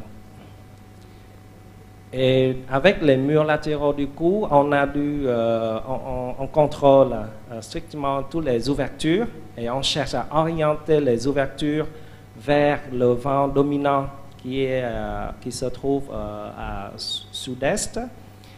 Et euh, du coup, ça crée aussi un, espace. En fait, chaque ouverture maintenant devient un espace, un filtre de, de, de, de lumière avec une qualité spatiale intéressante. Et ça, c'est l'image de la maison achevée en 2019, euh, euh, juste avant le tête, et ça c'est le jardin du voisin. Et euh, en fait, jusqu'à maintenant, il y a déjà deux saisons de, typhon. Il y, a deux, saisons chaudes et en fait, les gens sont très contents de, la qualité thermique de, la maison. Et ils sont plutôt contents aussi sur le fait que la maison, à la fois, ça confirme un peu leur statut dans le milieu, mais de manière pas trop euh, extravagante en fait. Euh, le deuxième projet, c'est très, euh, très différent. le client est très différent. elle est écrivaine qui s'installe à Dalat. Donc, avec un briefing très différent, mais on a appliqué la même approche pour voir comment et ça, la, euh, la photo ici montre un peu hum, comment elle prend soin un peu de son espace de vie. Ça, c'est l'image d'un espace de vie temporaire qu'elle a à Dalat avant d'avoir la maison principale. Et pour les mots-clés, en fait, je, je, veux accentuer sur le côté, elle veut avoir quelque chose d'authentique. C'est un mot très important parce qu'elle est le fondateur d'une marque, de la marque authentique euh, de Saigon, de Home Decor, quelque chose comme ça, est très sensible sur la question de euh, euh, valeur locale. Deuxième chose, c'est encore la question de confort hygrothermique, parce qu'avec sept ans qu'elle habite à Dalat avant de construire cette maison, en fait, elle, pardon. Et, euh, et, voilà. et, ça, c'est le paysage euh, vernaculaire. Ce que je, peux, je peux euh, apprendre, c'est dans enfin, l'association d'avoir une maison à l'échelle, juste un étage avec la toiture, ça donne une, une sensation très calme qu'on peut trouver parce que le, euh, la tendance de développer euh, toutes ces maisons euh, extravagantes, les maisons urbaines comme ça, sur la rue principale. Et du coup, en fait, c'est cette atmosphère-là que j'essaie de proposer aux, clients. Et pareil pour la maison à Quangai, si on fait un tour, on peut voir qu'il y a aussi tout un répertoire de techniques de construction qui est pour moi, qui est le plus important dans l'art, c'est la technique de construire avec la pente, qui est de plus en plus euh, perdue maintenant. Et les, gens ne font pas gaffe, du coup, la maison prend facilement l'humidité. Euh, et après, il y a moins de, poétique de, l'espace avec euh, la, pente qu'on peut trouver même dans les, maisons construites par les Français à l'époque, dans un site ouvrier. Et ça, c'est la qualité euh, du site, mais en fait, différent que l'autre projet, en fait, on peut trouver la, qualité paysagère comme ça tout autour du terrain. En fait, le terrain est complètement euh, vierge, sauf un caquetier qu'on veut sauvegarder euh, absolument. Et on arrive à ce projet-là avec euh, en fait les techniques de construction plutôt structure plutôt béton et euh, toiture euh, en pente très ordinaire en fait. Et voilà, je suis, je pense que je suis. ah bah, voilà, ça c'est le plan de, la maison pour montrer que en fait la maison, en gros, c'est un plan avec la forme elle qui procure un certain euh, introverti que la, cliente euh, souhaite, mais en même temps, en fait, ça prend la trame et ça suit un peu la forme urbaine qu'on peut euh, avoir autour de là, et ça permet d'intégrer les espaces verts de manière très libre tout autour.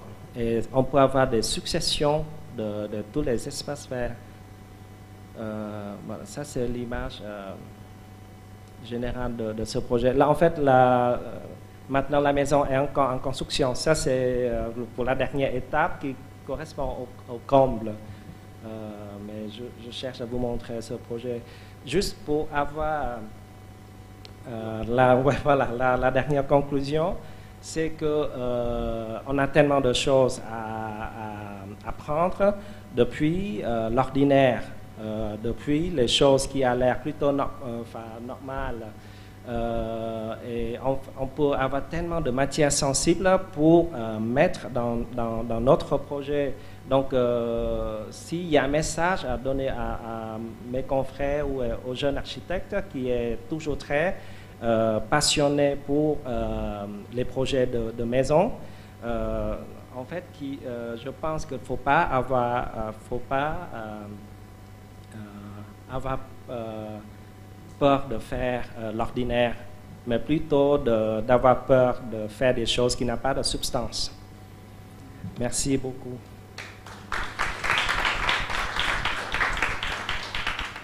Merci Tong pour cette présentation de ces deux projets dans des campagnes vietnamiennes et villes secondaires. Donc c'est intéressant aussi, on voit qu'on se promène sur des territoires différents et la démarche est sensiblement la même à chaque fois. Le style final euh, peut être très varié. C'est ça qu'il faut retenir, je pense.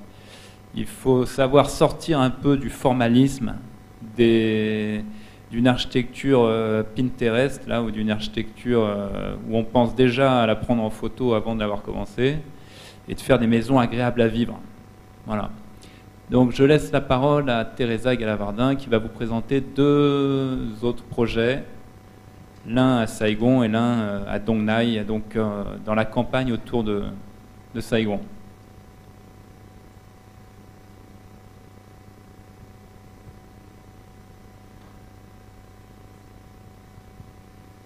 Bonsoir. Bonsoir. Euh, bah, voilà, Teresa Galavardin. je suis architecte, cofondatrice de T3 Architecture une agence qui est basée depuis 11 ans maintenant à Saigon au Vietnam et aussi depuis 5 ans on a ouvert une antenne à Phnom Penh au Cambodge. Alors aujourd'hui, moi je vais, vous, je vais essayer d'être assez rapide, mais pas oublier quand même l'essentiel. Euh, présenter euh, deux projets. Pardon. Voilà. Euh, deux projets qui, qui, sont chacun assez différents par leur milieu environnement, euh, c'est-à-dire qu'il y en a un premier bâtiment qui, qui se trouve en périphérie, en Binhua euh, de Saigon, dans un milieu plutôt rural, naturel, sur un grand terrain. Il s'agit d'un bâtiment neuf.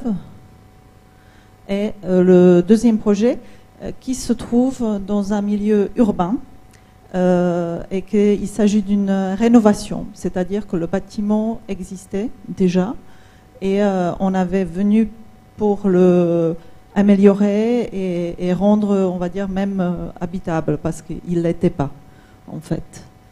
Euh, voilà. Alors, on commence par le premier bâtiment.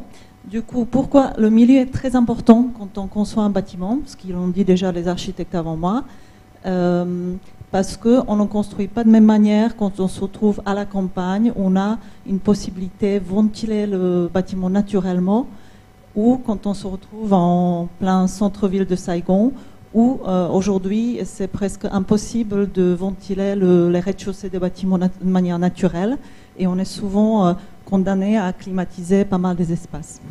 Donc, euh, à la demande aussi des clients, bien sûr, et par la possibilité du, de l'environnement, on a opté pour un, un bâtiment qui va fonctionner sans clim, euh, juste avec la ventilation naturelle. Euh, bâtiment, il s'agissait du coup des dortoirs de, euh, pour accueillir les enfants dans les séjours scolaires. C'est-à-dire que c'est un bâtiment assez fonctionnel, on va dire, mais qui est complètement, du coup, qui n'utilise pas la climatisation. Là, on peut voir en fait l'orientation du bâtiment qui est primordiale, à peu près nord-sud qui permet en fait de ventiler euh, toutes les cette chambre euh, naturellement. Ok, j'appuie pas. Ok. Ah ok. Et, euh, et, là avec la coupe, on va en fait le, je l'air qui est en bleu qui puisse circuler. Du coup, en fait, l'idée étant de ouvrir au maximum la façade nord et façade sud pour permettre ventilation naturelle et euh, deuxième chose, c'est d'avoir une toiture. Euh, contrairement à Michael ou Tang, on n'a pas opté à une toiture, double toiture ventilée, mais on avait euh, créé une toiture isolée qui reflète le soleil en fait et qui protège tout le bâtiment qui le met à l'ombre. Deuxième chose importante, c'est aussi... Ah d'accord. Vas-y, vas-y, tu, je te fais des signes? Alors ça avance, hein Tu me le. Euh, voilà. Et euh, deuxième chose, euh, toiture. On voit bien que la toiture, elle a des bords, des bords, importants pour protéger en fait les façades du soleil et aussi côté sud pour être protégé de la pluie. La deuxième chose importante, on a voulu en fait euh, utiliser et euh, aussi tester des nouveaux matériaux qu'on puisse utiliser pour euh, à la fois construction, isolation. Du coup, vous voyez l'isolation, la, toiture est isolée à, l'aide de balles de riz, ce qui est en fait juste la peau du riz qui, au Vietnam traditionnellement, est utilisé pour comme un combustible dans l'usine four à briques et que c'est un matériau très accessible partout dans le Vietnam et, euh, très peu cher. Et du coup, euh, cette balle de riz mélangée à terre diatomée euh, résiste à, à, l'humidité et aussi est résistante aux rongères éventuelles qui pourraient s'introduire dans la toiture. C'est-à-dire, on avait mis à peu près 200, 200 mm qui nous permet d'avoir un, énorme confort thermique. En ce qui concerne les façades, là, sur les deux images en bas, on voit la, façade. Je,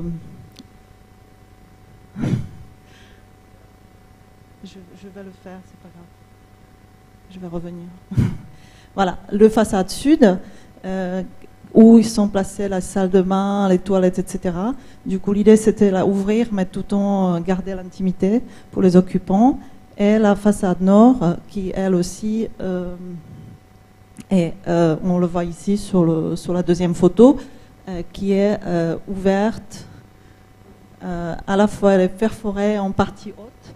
On a utilisé des, des tressages en bambou. On voit bien ici, sur cette image-là, en partie haute. Et en bas, on a des volets en bois qu'on puisse entièrement ouvrir. On voit qu'on va à travers euh, des chambres.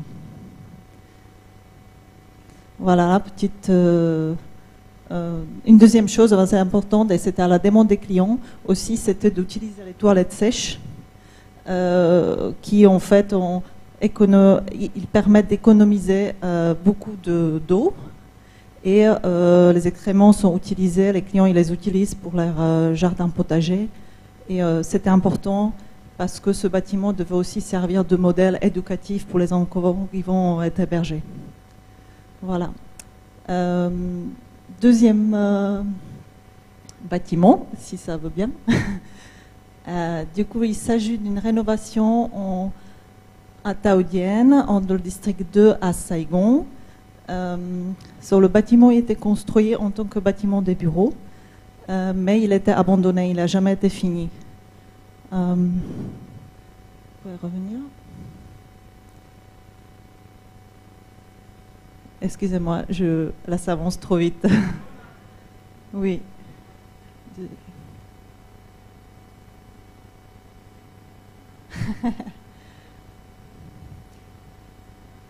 bon, je peux, je peux peut-être le dire même sans qu'on le voit.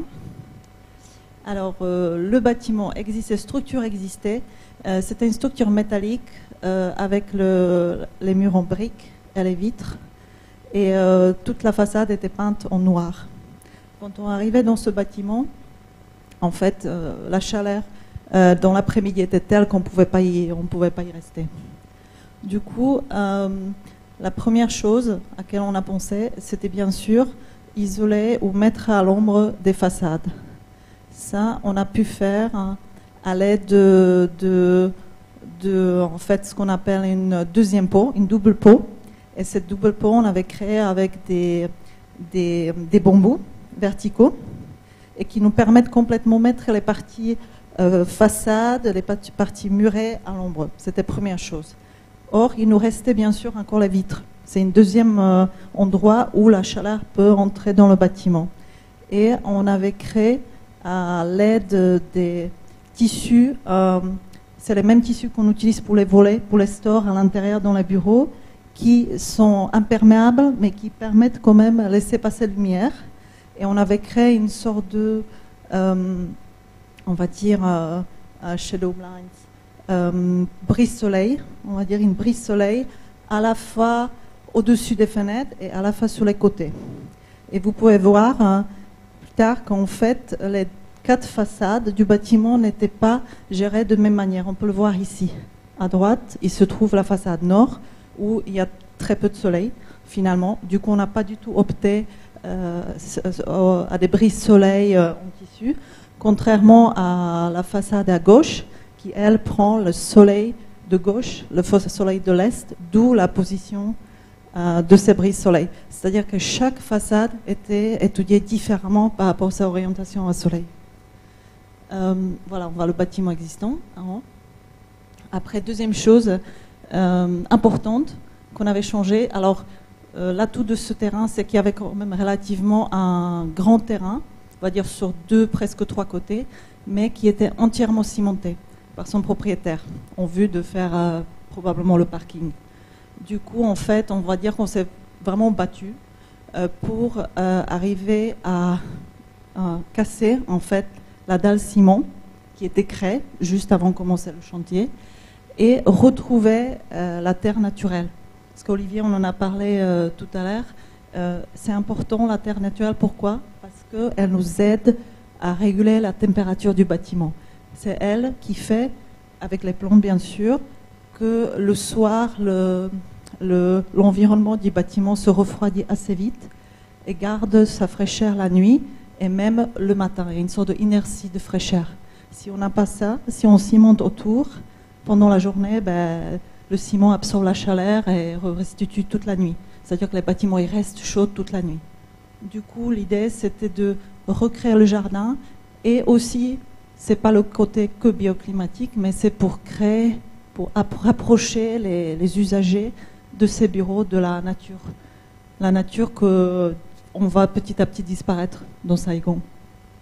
Donc, d'où la création de ce jardin qui est lié au rez-de-chaussée du bâtiment. Et une chose très importante aussi, que le rez-de-chaussée du bâtiment est entièrement non climatisé. On a réussi en fait convaincre les propriétaires, parce qu'ils n'étaient pas partants du tout, tenter l'expériment, de dire que on, est, on a trois, quatre niveaux au-dessus, c'est-à-dire que ça nous isole suffisamment pour pas devoir avoir la climatisation. C'est-à-dire, si on enlève la façade vitrée au rez-de-chaussée, ou si on permet complètement ouvrir le rez-de-chaussée, et on permet de le vent de circuler, plus on est à l'ombre, à l'aide aussi d'avec une casquette qu'on a rajoutée au rez-de-chaussée qui n'existait pas, on peut tenir toute la journée, presque toute l'année, sans la climatisation. Euh, pour ça, en fait, on a finalement aussi travaillé avec des ingénieurs thermiciens. Nous, on savait que ça allait marcher, mais c'était pour convaincre le client. Les, ingénieurs, en fait, avec les logiciels, ils étaient capables de simuler la température maximale qu'on va rencontrer, qu'on va ressentir dans ce bâtiment euh, dans les moments, les saisons les plus chaudes. Et on a pu prouver que c'était tout à fait euh, supportable, et ce qui est le cas. Et ce qui est aussi euh, très encourageant, que finalement, les gens qui louent des bureaux, parce que c'est un coworking dans les étages, il y en a beaucoup qui finalement ne bossent pas dans leur bureau, mais ils descendent au café en bas et ils y restent parfois presque toute la journée. au niveau après, euh, intervention, enfin, le choix des matériaux, bien sûr, c'est le choix des matériaux euh, naturels, si on peut, qui ne viennent pas de loin. Euh, et on ne se limite pas qu'à l'architecture, on continue à l'intérieur, bien sûr. Du coup, si on peut, on utilise du bois, le bois solide, sans le traiter à l'huile au lieu d'utiliser des vernis. plus le matériau comme du rotin, et un élément très important que vous avez vu aussi euh, dans le projet précédent, c'est l'enduit à la chaux. C'est quelque chose qui a toujours existé au Vietnam. Euh, c'est un matériau 100% naturel, mélange de l'eau, du sable et de la chaux. C'est juste que ben, ce matériau était un petit peu abandonné, on va dire aujourd'hui, en ville, en milieu urbain. Et du coup, on avait réappris avec nos entreprises à utiliser ce matériau et là, on peut par exemple voir comment on peut l'utiliser à l'intérieur. Ce qui est intéressant, que la couleur n'est jamais pareille. Euh, elle dépend du, couleur du sable qu'on utilise et qui nous donnera. Et euh, dernière chose, le, mobilier aussi, on utilise des matériaux euh, sans, en fait, on limite la présence du, de la colle toxique. Donc, voilà, c'est des, des, des cols certifiés si on peut. Bien sûr, c'est toujours une. Euh, chaque projet, en fait, c'est un équilibre entre le souhait du client et le, et le, budget aussi. On a devoir faire des choix. Très souvent, on n'est pas libre de euh, faire ce qu'on veut, mais euh, nous, c'est vrai que dans nos projets, on donne souvent importance plus à côté qualité d'espace, qualité d'usage, qualité thermique, qualité d'architecture, parce que l'architecture, c'est quelque chose que nous, on le perçoit comme quelque chose qui devrait durer. Euh, l'intérieur, c'est important, mais c'est quelque chose que les gens peuvent changer selon les goûts. C'est pour ça, en fait, euh, souvent, si on a des budgets limités, on se, concentre sur, surtout sur l'architecture.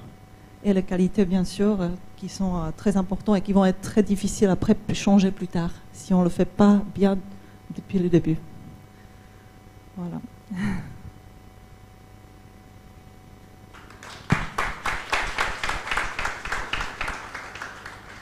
Donc désolé pour les quelques petits problèmes techniques, mais merci pour cette présentation très claire de deux projets euh, euh, dans des contextes différents et on voit qu'on peut apporter des solutions euh, à chaque fois uniques pour chaque projet, qui donnent du sens, qui racontent une histoire, et puis on peut être en milieu urbain, à la campagne il y a des choses à faire, tout est encore euh, à inventer. Euh, je vais donner la parole à Yvon, qui est lui en direct du Cambodge et qui va nous présenter un projet industriel, donc intéressant, autre sujet d'architecture qui mérite aussi euh, une attention forte, sachant que Vietnam, Cambodge, c'est des pays qui attirent énormément d'investisseurs pour construire des usines, des hangars, etc. Et souvent, c'est le parent très très pauvre de l'architecture, là, ce genre de, projet. Donc, Yvon va vous prouver le contraire. À toi, Yvon.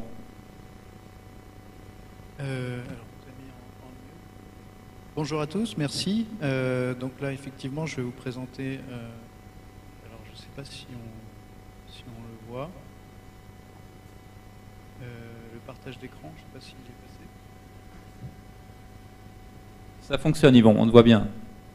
On a ta tête et, le, ton diaporama. Voyez, mais pas, voilà, mon partage d'écran. Ok, d'accord, c'est parti.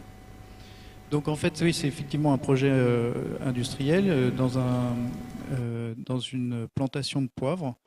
le, cette plantation dans laquelle j'ai réalisé tous les bâtiments en fait.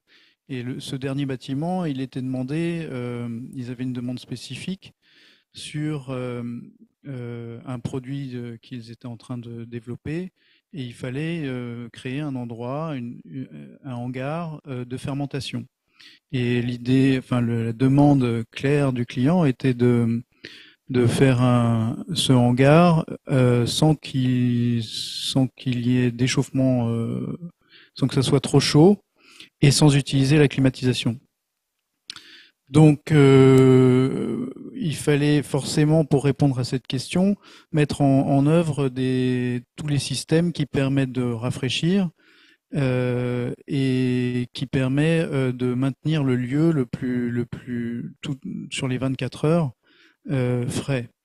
donc j'ai l'idée que j'ai suivie, c'est comme j'avais réalisé pas mal de bâtiments sur place, je me suis demandé si on pouvait mesurer la température de tous ces bâtiments, les uns après les autres, à, une, à une heure fixe de la journée euh, et, essayer de faire une sorte de bilan thermique en mettant des capteurs euh, de température à l'extérieur et à l'intérieur de chaque paroi. Euh, donc que ce soit les murs nord, sud, est, ouest, et également, ce qui est très important, c'est la toiture et l'environnement immédiat, c'est-à-dire le sol de l'environnement immédiat et le sol de l'espace intérieur en faisant ces mesures, en fait, euh, il est apparu euh, deux éléments euh, essentiels. C'est que, évidemment, il y a des matériaux qui fonctionnent très bien à l'isolation. Vous l'avez tous évoqué, que ce soit la brique ou la paille ou enfin la toiture isolée, les, les surtoitures, etc. Et en fait, donc j'ai en regardant un peu tous ces tous ces bâtiments, euh, j'ai sélectionné euh, ce qui fonctionnait de mieux. Et la deuxième, le deuxième élément à la fois de surprise et de et qui ressortait de cette euh, de cette petite démarche scientifique, c'est que les bâtiments ne répondaient pas pour un même matériau, ne répondaient pas de la même manière le jour et la nuit. Et donc ça, ça a été bien évoqué aussi par Michael et par Tang, c'est-à-dire que euh, la brique, euh, c'est très bien, euh, ça va isoler la journée, mais si elle accumule de la chaleur, elle peut la restituer pendant la nuit. Et on, a très bien vu sur les projets précédents comment le double mur en brique était un avantage pour lutter contre ce, phénomène de, radiateur en fait des murs la nuit. Et, euh, ça, on le voit très bien, euh, c'est que euh, en fait j'ai fait des mesures sur des bâtiments donc dans les campagnes et je me suis dit évidemment la maison traditionnelle cambodgienne doit très bien fonctionner. Elle, elle, a été conçue à travers les âges et elle est forcément elle, elle, répond forcément à la question climatique. Et en, la première, en, faisant la première étude, on se dit, bah non, ça marche pas du tout. Et en fait, on, s'était, on, avait étudié simplement la journée. Et, euh, et quand on a fait, euh, euh, quand on a fait les mesures sur 24 heures et puis sur plusieurs jours, on s'est aperçu qu'effectivement, elle marche très très bien, mais la nuit, ce qui répond parfaitement aux besoins traditionnels, qui est d'aller dans les champs pendant la journée et de revenir le soir vers 5 heures, 5 heures et demie. À ce moment-là, vers 5h30, traditionnellement, ils arrosent le sol devant la maison, qui est sur pilotis. ils réouvrent les fenêtres. Il bénéficie de, la, du petit vent qui, qui, est toujours présent euh, en, fin de journée, qui fait un espèce de siphon thermique euh, de, des pièces qui se situent en haut, avec euh, une ventilation en, haut, en hauteur, qui est très souvent le cas dans les toitures. Et en fait, le matériau qui l'a constitué, qui était en, qui est en, souvent en, bois, le, bois est, très sombre et donc est un accumulateur de chaleur pendant la journée et puis très peu isolant. Donc pendant la journée, ces, maisons ne, fonctionnent pas bien. Et la nuit, très bien, donc euh, elles remplissent euh, parfaitement leur usage. Euh, de la même manière, les, en étudiant les écoles, qui pour le coup sont des bâtiments qui doivent fonctionner pendant la journée, eux ils sont toujours tous en briques et, et donc répondent à la question de l'isolation du, du, soleil qui tape dessus et puis des surtoitures qui permettent euh, effectivement de, de, résoudre le problème de, de, de la, du soleil euh, direct pendant la journée et, et donc remplit son, son rôle de, de, de, de protection, euh, de protection thermique euh, pour, les, pour les élèves. Euh, voilà, donc euh, en, fait, quand on a commencé cette réflexion, on était dans ce bâtiment avait, euh, que j'avais conçu aussi pour des bureaux, et, particulièrement dans, ce, dans cet escalier, qui est extrêmement euh, frais, tout le temps, tout le temps, tout le temps. Et en fait, pour une raison évidente et simple, c'est que effectivement, il est, il est, il est parfaitement ventilé, et puis il est, il capte la lumière, enfin, pardon, il capte, il capte les vents dominants euh, en permanence. Donc, euh, fort de tout ça, en fait, on, a, euh, on a mis en place donc ces matériaux, ces, ces, effets de façade qui permettent à la fois de laisser passer l'air et pour, pour ventiler, et, et puis le, choix des matériaux et puis la surtoiture. comment dire Par rapport en, en, concevant aussi ce, ce bâtiment, euh, moi, je, je, suis donc architecte et puis j'ai monté une, une, usine de fabrication de structures métalliques euh, qui, euh, à, la base, euh, euh, est dédiée aux énergies renouvelables. On faisait des structures de, panneaux solaires et puis on fabrique des, pompes béliers qui sont des pompes qui fonctionnent euh, par l'énergie hydraulique pour monter de l'eau, donc sans, sans apport d'énergie électrique ni, ni diesel évidemment. Euh, et donc, euh, dans, ayant cette, euh, cette usine de, de, fabrication de structures métalliques, je me suis dit qu'on allait concevoir un bâtiment un peu complètement en mécano, sachant que les structures acier sont des structures qui sont plus faiblement carbonées, enfin, qui ont un bilan carbone qui est meilleur que, celle, que les structures en béton. Euh, et donc, on est parti sur l'idée de fabriquer une, une toiture euh, avec une, une, une, surtoiture. Et donc, euh, euh je ne sais pas si mon curseur n'en passe pas, mon curseur passe pas à l'écran. Euh, donc, en fait, on a, on a conçu cette, cette image. si mon curseur passe. Euh, on a conçu cette, euh, poutre particulière qui est une forme de V euh, qu'on retrouve ici. Et pourquoi? Parce que en fait, ce V permet à la fois d'accueillir, de supporter la toiture en fibrociment. Le fibrociment a été choisi parmi les matériaux qui réagissaient le mieux thermiquement et, et garder son côté ouvert qui permettait, là la poutre elle est à l'envers, qui permet d'avoir un élément qui euh, sort sans altérer l'étanchéité, qui vient euh, porter un autre élément qui lui est le support euh, de cette, de cette deuxième couverture ajourée, mais qui est complètement brise-soleil.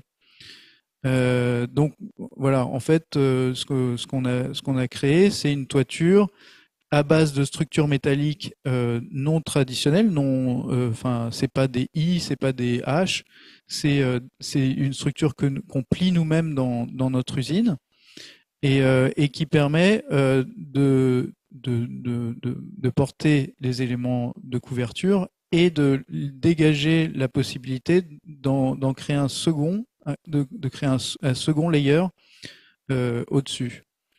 Alors, je me suis évidemment euh, remémoré euh, les, maisons climatiques de Jean Prouvé et je m'étais longtemps demandé pourquoi il portait, il, avait ces structures portaient dans la longueur au lieu de porter dans la largeur comme c'est le plus simple. Et, en fait, c'est en réfléchissant à ce, à ce projet que j'ai enfin compris, et que je, me suis penché euh, dessus et enfin compris. Euh, S'il porte dans la longueur, euh, c'est contre, c'est aberrant par rapport à la structure, mais ça permet de, complètement ouvrir cette toiture, créer une, faille longitudinale justement dans cette toiture qui va permettre donc cette, euh, cette ventilation naturelle par le haut, qui, euh, c'est-à-dire que l'air chaud va monte, monte et donc peut s'évacuer par le haut et euh, accentuer par comment dire par le par nous Ici, euh, dans ce projet, il a été accentué aussi par le fait que euh, la couverture de, ce shed euh, central est, incurvée vers le, vers le bas et accentue le, l'effet, par effet Venturi, en fait, l'air qui, qui, qui, le vent qui passe va accentuer le siphon thermique. Donc, j'ai regardé sur, enfin, je connaissais bien le lieu, mais on connaissait bien les, vents dominants euh, du lieu, mais en fait, il y, a un, site internet qui permet de, le voir très bien, euh, qui, classifie les, euh, par, par lieu précis géographique une rose des vents. Donc on a tous les vents qui, qui viennent habituellement, enfin, en fait, donc là on voit que les vents sont toujours du côté donc euh, sud, sud, sud-ouest ou euh, nord, euh, il y a très peu de vents qui viennent des, autres, directions. Ça, c'est le nombre de jours de vent sud-est et le nombre de jours avec leur intensité. Donc, nous, on a positionné évidemment le, bâtiment, pardon, il est ici. Euh, en est-ouest pour prendre euh, en face les vents dominants et par l'effet Venturi, par l'effet d'ouverture de cette, toiture en ayant une structure qui porte dans la longueur, et puis la couverture de cette, ouverture incurvée vers le bas, ça permet de prendre l'ensemble du vent qui vient sur cette toiture et vient se concentrer ici euh, et, et, passer, puisqu'elle va glisser sur la toiture et, se concentrer euh, en, haut de la toiture, évidemment créer une dépression aussi également derrière et donc aspirer l'air chaud qui se, qui se situe à l'intérieur. Donc là, euh, on, le, pour nous, c'était assez aisé puisque en, maîtrisant la fabrication en métal et maîtrisant donc tout le process, donc là, voilà, on voit à l'usine, on a, on a mis en place ces, ces, ces, structures qui portent dans la longueur, donc des grandes, des grandes poutres treillis euh, euh, qui, se, qui assemble de chaque côté les pannes en, en poutres, euh, en les V-beam qu'on qu'on appelle V-beam maintenant, et, et, donc permettant complètement d'ouvrir la toiture en deux et, devenant le support d'un autre élément pour qu'éviter que la pluie euh, ne pénètre, mais cet élément qui euh, euh, permet donc d'avoir une deuxième couverture et incurvé sur le bas pour accentuer par effet Venturi le, siphon thermique. Ça, c'est quelques éléments. Ça, c'est les premiers essais qu'on fait dans l'usine, euh, où on se demande si ça va tenir. quand même. C'est on porte là on portait pas énormément, c'est pas une grande portée, mais là on est monté à des portées qui font 20 mètres. Donc ça, ça commence à être un peu plus conséquent. Euh, et puis c'est tout ça, c'est un mécano. Euh, donc la brique, euh, c'est localement produit. Dans, sur le site même, on a produit de la brique, on a produit pour d'autres bâtiments des bâtiments qui qui, qui abritent, enfin qui sont des logements pour pour le personnel de de la, de la ferme, qui sont en briques crues. Là, on est passé en briques en briques cuites parce que il fallait des petits éléments les briques crues, quand, on les a produites, c'est-à-dire c'est un mélange d'argile, de ciment euh, et d'un peu de sable et, euh, de l'eau, et puis une réaction, euh, c'est une réaction du ciment qui fait la colle et qui et fixe en fait l'argile et et ça, sèche au soleil simplement, hein, il n'y a pas besoin de, le passer dans un four. Et, et donc, ce, euh, on avait déjà utilisé ça sur, euh, sur, sur, sur des projets à côté. Ça marche très très bien. Alors, c'est très très très isolant. Euh, mais dans ce cas-là, euh, on, avait, on avait en plus besoin de cette ventilation. Et j'ai fait euh, des mesures depuis. en fait, quand on fait un, un treillis en fait de, de briques, euh, c'est euh, c'est plus permanent entre le jour et la nuit. C'est-à-dire que euh, soit on est dans, on fait un, un mur de briques euh, doublé pour éviter de transmettre dans la nuit ce que l'accumulation de chaleur de la journée, soit on, parce que soit on est dans, dans, dans ce dans ce schéma-là où en fait la, la brique en étant un treillis ne s'échauffe jamais euh, elle fait elle-même brise-soleil sur elle-même et elle est légèrement en pente pour éviter que la pluie, l'eau ne pénètre. Donc elle est, elle est à la fois par pluie et par, par soleil et, et avec cet, cet, aspect de beaucoup d'aspérité qui, qui fait qu'elle est tout le temps ombrée elle-même sur elle-même. Euh, donc, euh, et ça, ça, ça permet euh, donc euh, d'éviter tous ces, tous ces échauffements et de, et de, et de bénéficier au, à plein euh, du, du, euh, de la ventilation naturelle du vent. Euh, donc là, on voit sur ces photos que en fait, euh, c'est un mécano qui s'assemblait. Euh, donc tout a été préfabriqué en, dans notre usine, tout a été galvanisé à chaud dans, chez notre partenaire et et, et, complètement assemblé euh, bah, avec euh, des petites grues et puis euh, et, et, très peu de personnes euh, et très rapidement. Voilà. Donc et donc là on voit l'élément fini et sur lequel on, on, continue de réaliser des mesures et notamment bon ici donc il y a toute une plateforme bétonnée ici que vous voyez en fait c'est un séchoir à poivre. Donc euh, effectivement, en fait, on, se retrouvait aussi avec cette contrainte euh, difficile, c'est que c'est que cette partie-là échauffe beaucoup. Heureusement, il y a, il y a, il y a de, de, de, sur trois côtés euh, des parties qui sont restées naturelles et qui et qui sont plus rafraîchissantes.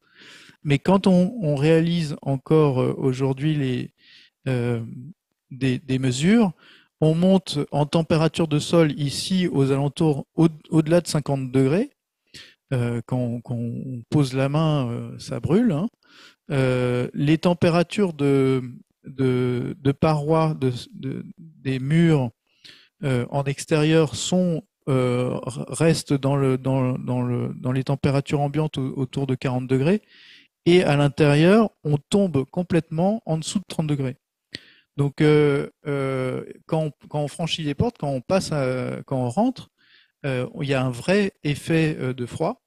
Et, donc, ce qui permet, donc, ce qui permet d'avoir cette atmosphère à l'intérieur constant qui ne s'échauffe pas.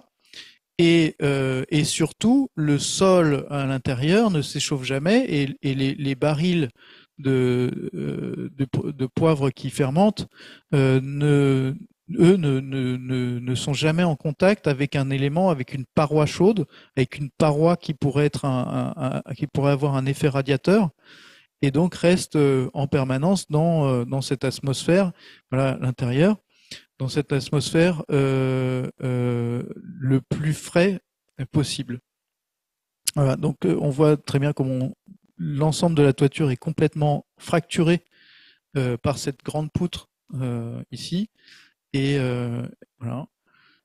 comment donc ici il y a, des, moustiquaires pour éviter que donc l'intrusion d'insectes et, et, et, et, qui gardent la, la, chaleur. On avait une autre contrainte, c'est qu'ils ont deux types de produits qui ne doivent pas se mélanger, donc il y a une paroi au milieu.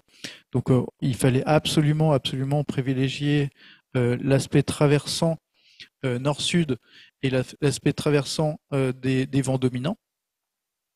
Euh, par ailleurs, voilà, on a mis en place, enfin, ça donnait lieu à des, euh, des détails constructifs euh, tels que la gouttière ou, ou, ou, ou l'évacuation d'eau. on s'est un peu amusé à, à décliner la, la V-beam et, et, et, à tout réaliser en, en métal pour éviter ces matériaux plastiques et, et qui sont euh, qui sont à la fois laids et puis euh, et là euh, du coup ces, ces, éléments de langage un peu industriel mais bien bien réalisés en métal on peut tout à fait les laisser apparents et, ça devient même peut-être assez assez intéressant sur le plan esthétique.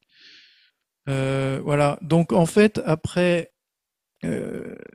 cette, idée-là de, mesurer, euh, mesurer les températures, euh, j'ai commencé à, le théoriser, à le mettre en, forme d'une méthodologie qu'on essaye, enfin qu'on essaye, avec l'Institut français du Cambodge, euh, grâce à Valentin, on a, euh, lancé un concours d'architecture avec les étudiants euh, en mélangeant étudiants je forçais de mélanger des étudiants d'architecture avec des étudiants d'agronomie parce qu'il y a forcément une interaction entre les plantes et les bâtiments et entre les qualités de sol environnant et, un bâtiment. Et dans le, le, le, premier exercice que les étudiants ont réalisé, c'est de prendre cinq bâtiments euh, qu'ils choisissent, enfin on les oriente un petit peu, et d'en faire euh, un bilan thermique avec cette méthodologie de captation de, de la température et de l'hygrothermie euh, sur 24 heures ou une semaine. Et euh, donc l'analyse ensuite en commun de toutes ces données-là, de cette collecte de data, ce qui fait qu'il y a six équipes, donc 6 x 5, on a 30 bâtiments. On s'aperçoit qu'il y a des bâtiments qui sont tout à fait inintéressants, des bâtiments qui sont très intéressants. J'ai, là, c'est un, une pagode et, et, forcément les pagodes sont, sont, sont, non climatisées, donc je me suis dit il y a, y a quelque chose à aller regarder là-bas. Euh, les usines, c'est pareil, sont, sont, souvent non climatisées, donc il faut aller les regarder. Les, les bâtiments traditionnels, les bâtiments euh, de l'époque moderne de Van Molivan, euh, on, on, a commencé à en étudier certains, parce que tout le monde euh, a dans l'idée que c'est des bâtiments qui marchent très bien, et, on le, et on peut le vérifier, on peut le, on peut le mesurer, on, peut, on, le, on, on est en train de, de bien analyser tout ça. Et donc, euh, euh, euh, tout ça ça, ça, ça ça, crée une démarche et une méthodologie que les étudiants ensuite vont, j'espère, s'approprier et, et, et, mettre en pratique sur un, sur un, sur un, projet qu'on leur a donné, euh, comme, comme disait Valentin, sur euh, les bords du Mekong.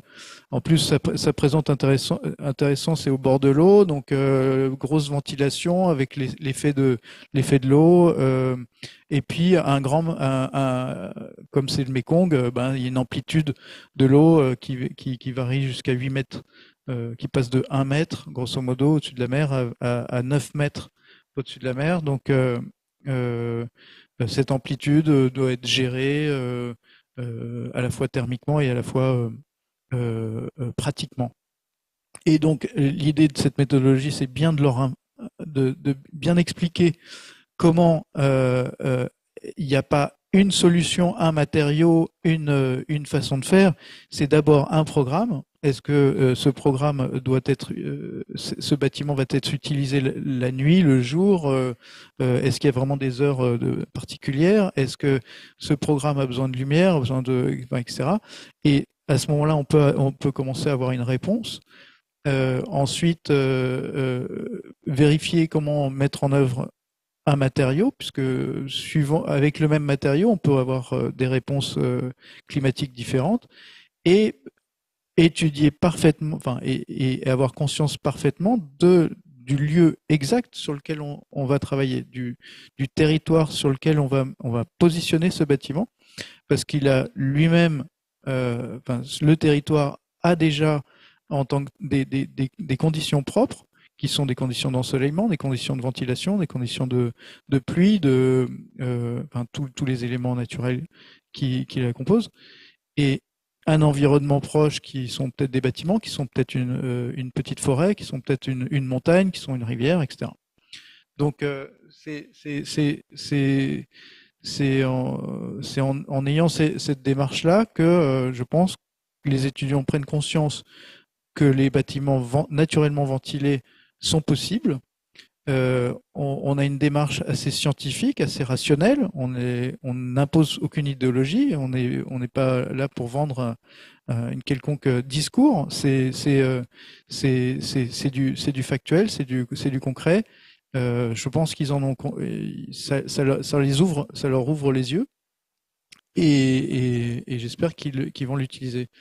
Nous, même, euh, de, euh, c'est devenu une démarche euh, qu'on applique de plus en plus. et là, c'est un projet qui est en construction. C'est une maison euh, donc le client euh, euh, voulait, bien que ne pas du tout utiliser de clim. Donc il, a, un site qui est assez exceptionnel, qui est en haut d'une colline, donc qui permet l'effet Venturi, l'effet Venturi de la colline par elle-même. Donc on, sa, maison c'est juste une, grande toiture. Euh, surmonté d'une deuxième toiture euh, pour euh, encore évacuer les chaleurs. il voulait une piscine, donc on a mis la piscine au bon endroit pour, pour prendre le vent et puis rafraîchir, et avoir cet effet de rafraîchissement de, de, de la maison. Enfin, des, des, parties, en fait, surtout, encore une fois, il il faut distinguer les parties de nuit deux parties de nuit et les parties de jour. Euh, puisque euh, on va pas avoir la même réponse, comme on, l'a dit, euh, comme tout le monde l'a dit en fait, sur sur un même matériau. Qu'est-ce qui va être quelle réponse ce matériau va donner dans la journée et quelle réponse il va donner la nuit. donc voilà, j'ai à peu près, je crois que j'ai survolé à peu près tout. Ah non, sauf que voilà, au Cambodge, j'essaie de lancer un, euh, un groupe euh, de travail, de recherche et, euh, et, de, et, de, et, de, partage de données qui s'appelle l'OCO2. et donc, c'est un groupe Telegram. Donc, c'est essentiellement de la collecte de data et, d'être le plus open source possible sur ces data. grâce à l'Institut du Cambodge, avec ce, ce, ce, ce concours d'architecture, on va euh, euh, réaliser une publication. Cette publication collectera l'ensemble des datas. Ces datas, on pourra euh, sans doute aussi les, rendre téléchargeables directement en fichier Excel, etc. Ce, qui, est intéressant, c'est de manipuler cette, matière de collecte. et, de se rendre compte, de faire les différentiels, de, de, de travailler, d'aller d'aller regarder comment euh, la, température évolue et surtout comment la température évolue entre euh, intérieur et extérieur du mur et de voir comment les différentiels s'inversent la, nuit quand, le bâtiment fonctionne moins bien, comment, euh, comment, comment ça marche, comment ça marche pas, les contre-exemples étant tout à fait aussi intéressants que les exemples. Et, euh, et, voilà, donc euh, euh je j'espère que ça c'était la bio, bon voilà. Euh, euh j'espère que cette méthodologie pourra s'appliquer dans en, en, en, compétition dans plusieurs instituts du Institut français dans le monde parce que ça permettrait une collecte de données sur différents climats chaque région pourrait être intéressante. L'Institut français étant présent partout dans le monde, ça permettrait de faire une, énorme collecte de data qui permettrait de Enfin, moi, j'ai en référence un, livre qui a été réalisé par Norman Foster sur, en fait, où il, étudiait chaque, euh, chaque habitat traditionnel en fonction des climats. Et il partait de, du climat euh, anglais euh, pour partir au climat russe, chinois, d'Asie du Sud-Est où nous vivons, qui est, très différent, ou au climat sec, aride, californien, pardon, texan ou, ou, autre.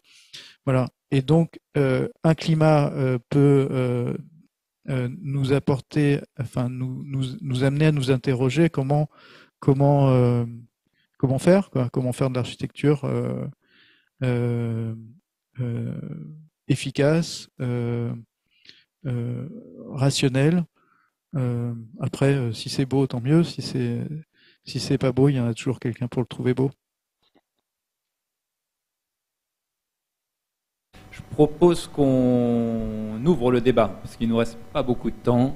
Donc on va, on va passer sur... Euh, voilà, vous pouvez l'applaudir. Donc merci pour ces cinq présentations. Comme vous avez pu voir, euh, bah, plein de projets variés dans des contextes euh, très différents et à chaque fois des solutions très spécifiques à chaque contexte, à chaque demande, à chaque programme. Et c'est le rôle de l'architecte en fait de, faire ce sur mesure et qui est à l'opposé du euh, copier-coller et de du de la, l'uniformisation. Donc je propose de, de donner la parole au public pour voir si vous avez des questions sur l'une des présentations de manière plus générale.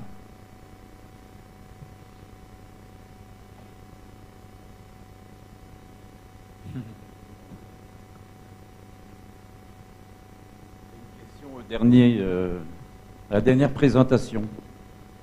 Parce que euh, ce que. Je ne me souviens plus le nom de la personne. Yvon. Euh, pour l'agronomie, ça le fait. Mais également, il y a un secteur qui est extrêmement important, c'est l'élevage.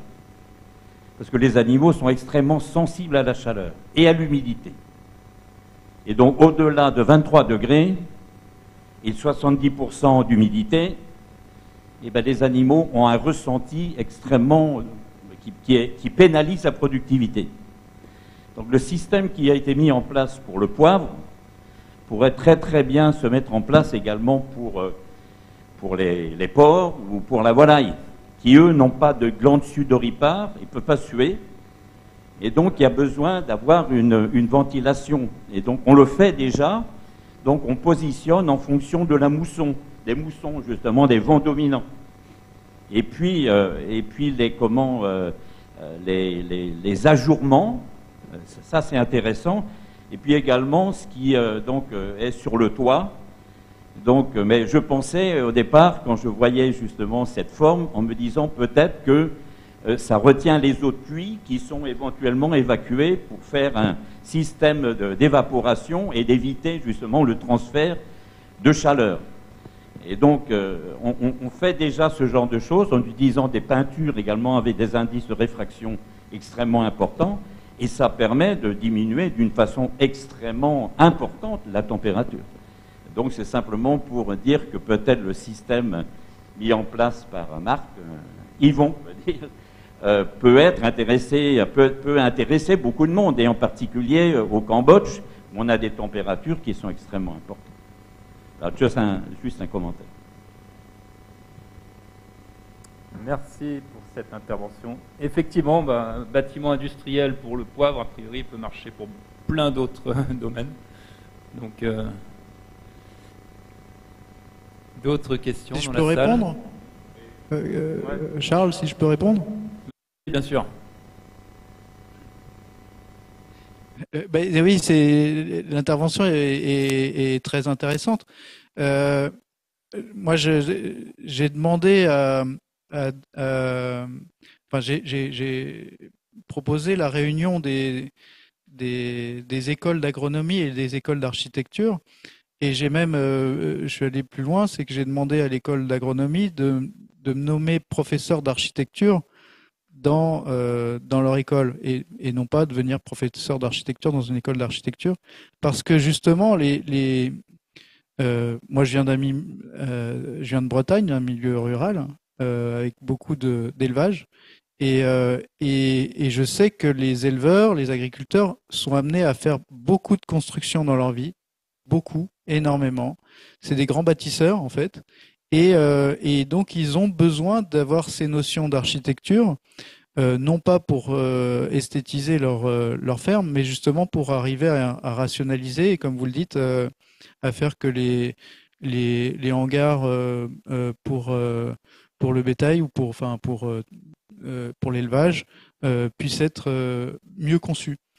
Et, et du coup, euh, dans cette euh, université euh, avec qui je, travaille en ce moment, ils ont, on a la chance qu'ils font des expérimentations d'élevage bovin en ce moment pour des vaches laitières. Et il y a eu des, il y a eu plusieurs vaches qui, qui sont mortes. Et c'est complètement dû à la chaleur. Et donc là, on, en, ils sont en pleine réflexion sur euh, comment refaire les toitures. Euh, ils avaient eu des bonnes idées, puis c est, ça n'avait pas marché. Et, euh, et, donc là, on, on, on va essayer d'améliorer tout ça. Et, de, et effectivement, de toute façon, tout, doit, tout ça, ça doit passer par euh, un apport de connaissances. Euh, on peut passer par euh, les calculs et, et puisqu'on connaît euh, les facteurs U ou les, fac les facteurs de récidivisité de, chaque élément, mais il faut aussi, surtout, essentiellement prendre en considération le, le lieu en particulier où c'est réalisé.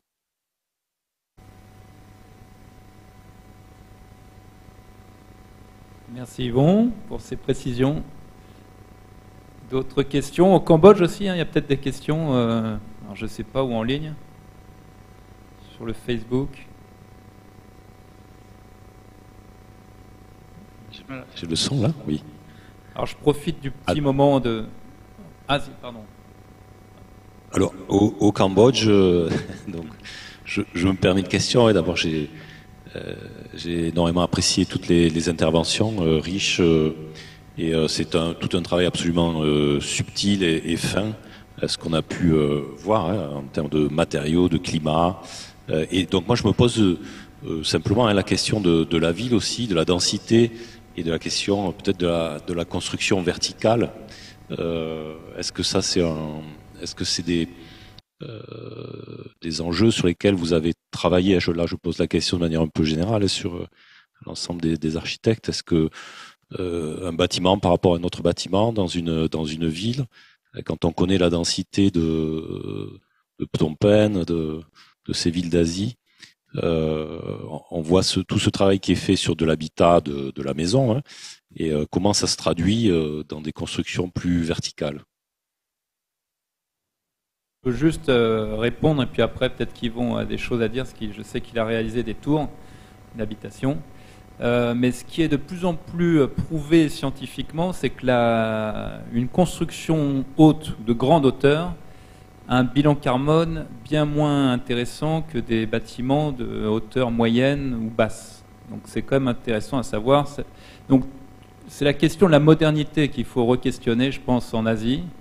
Euh, Qu'est-ce que la modernité? Est-ce que c'est vivre tous dans une tour et travailler au 40e étage d'un building? Voilà, la question se pose, en tout cas au niveau purement CO2, donc qui est même le sujet d'actualité lié au réchauffement climatique, a priori, ce n'est pas la solution. D'autre part, les villes les plus denses au monde sont des villes euh, comme Paris, les villes européennes, Hanoï, euh, quartier plutôt historique, où on se retrouve avec des bâtiments de 5, 6, 7 étages, et on a une bien meilleure densité que dans des quartiers euh, asiatiques où on a euh, des tours et puis finalement beaucoup d'infrastructures très larges pour respecter des, questions de sécurité au feu et autres. Donc, a priori, la réponse est euh, ouais, le futur n'est pas dans la grande hauteur. Après, il faut, trouver la juste hauteur. Yvon, quelque chose à dire peut-être, ce que tu as réalisé plusieurs bah, tours. Dans, dans, les, dans les constructions, euh, bon, j'ai réalisé quelques constructions de 20 étages, mais donc là, tout ce qu'on sait faire, c'est de faire des, des, des, éléments traversants, euh, donc faire des, tours assez euh, fines pour, pour que les appartements eux-mêmes soient traversants. Et, et, apporter ce, cette ventilation qui, qui, qui, passe d'une façade à l'autre. À part ça, on voit, il y a les expérimentations euh, de, Foster, de, de Rogers ou, autres qui, euh, qui essayent de capter euh, par des entonnoirs ou, ou, par des atriums tournants comment faire en sorte qu'il y ait une ventilation naturelle dans un, dans un bâtiment. effectivement, tout, tout, tout pousse à penser que une certaine densité permet euh, de faire une économie d'échelle dans les villes euh, sur les infrastructures et sur euh, sur toute la logistique d'une ville, mais une trop grande densité, une trop trop forte densité ou une trop trop forte hauteur, là est pénalisante en termes d'énergie. donc est énergivore, donc ça ça marche pas. Et une ville comme Phnom où les bâtiments n'excédaient pas tellement six étages jusqu'à il, y a très peu de temps, jusqu'à moins de dix ans. C'est finalement une ville euh, où on voit bien que euh, les rues, les réseaux et tout ça sont, à l'échelle encore euh, assez humaine et, et, moins énergivore, tout en ayant l'avantage d'une forme de, de, densité des infrastructures, des écoles, des hôpitaux, des, euh, des, réseaux d'égouts, des réseaux d'électricité, etc.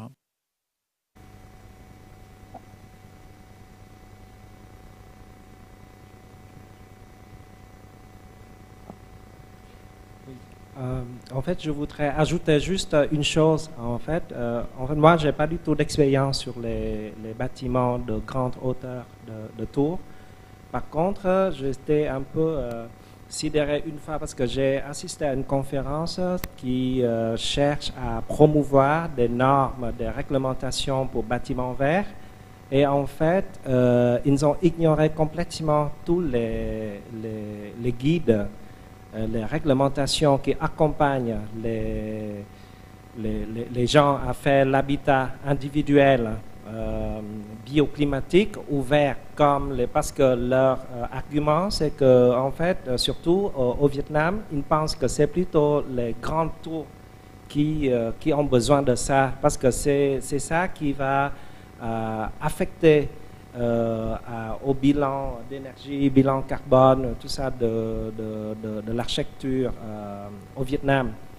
Alors que moi, je pense qu'au Vietnam, en fait, tous les projets d'habitat individuel, euh, c'est énorme, en fait. Et eux, en fait, ils vont participer beaucoup, beaucoup à, tous les bilans carbone euh, général. Et euh, le fait que chaque maison arrive à réduire les surfaces, minéraliser toutes les maisons arrivent à avoir seulement la moitié de l'espace ventilé naturellement, en fait, ça peut euh, affecter beaucoup, à ça peut avoir un impact sur la durabilité euh, de, la ville ou en général. Euh, c'est tout.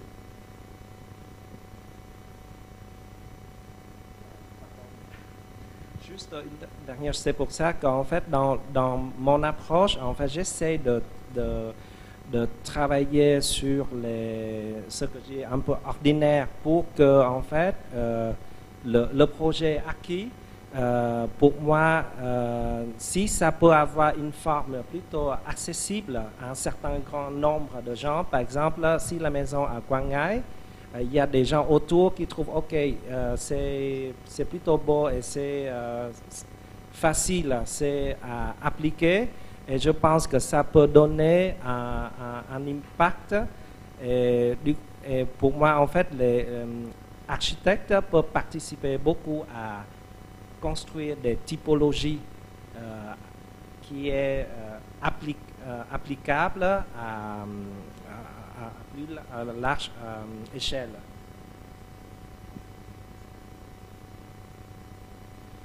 Alors c'est vrai qu'au Vietnam, ce qu'on voit, c'est que il y a assez peu de, modèles d'architecture entre la tour euh, de plus de 20 étages et la maison individuelle. Alors que c'est probablement l'entre-deux qui, serait la solution. Donc il y a un peu le quartier 7, on va dire, district 7, qui a un peu opté pour cet euh, urbanisme et qui fonctionne assez bien. Euh, à Phnom Penh, euh, c'est un peu pareil, hein, le, les développements récents de Phnom Penh. Hein. On est vite dans la tour euh, haute ou maison individuelle, voire gate communities. Là.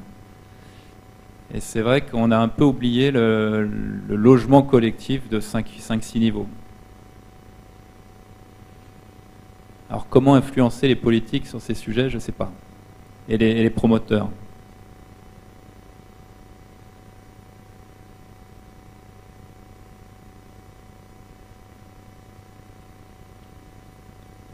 Alors moi déjà je voulais vous remercier hein, toutes euh, et tous pour ces, interventions vraiment, vraiment intéressantes et diversifiées et, qui donnent vraiment le, de l'espoir en fait. Hein. Euh, mais j'avais une question en fait parce que vous vous êtes architecte, vous êtes convaincu de, évidemment du bien fondé de votre démarche. Vous avez des clients heureusement. Euh, Teresa nous disait qu'ils ont quand même, il a quand même été nécessaire un peu de les convaincre hein, sur certaines propositions.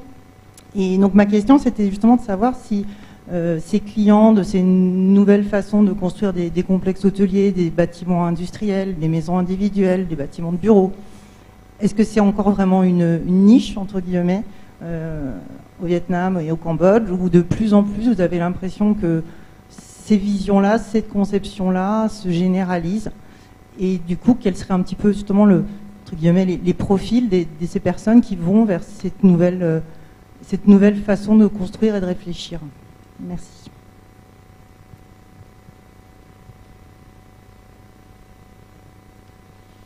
Alors je voudrais juste dire que tu as raison.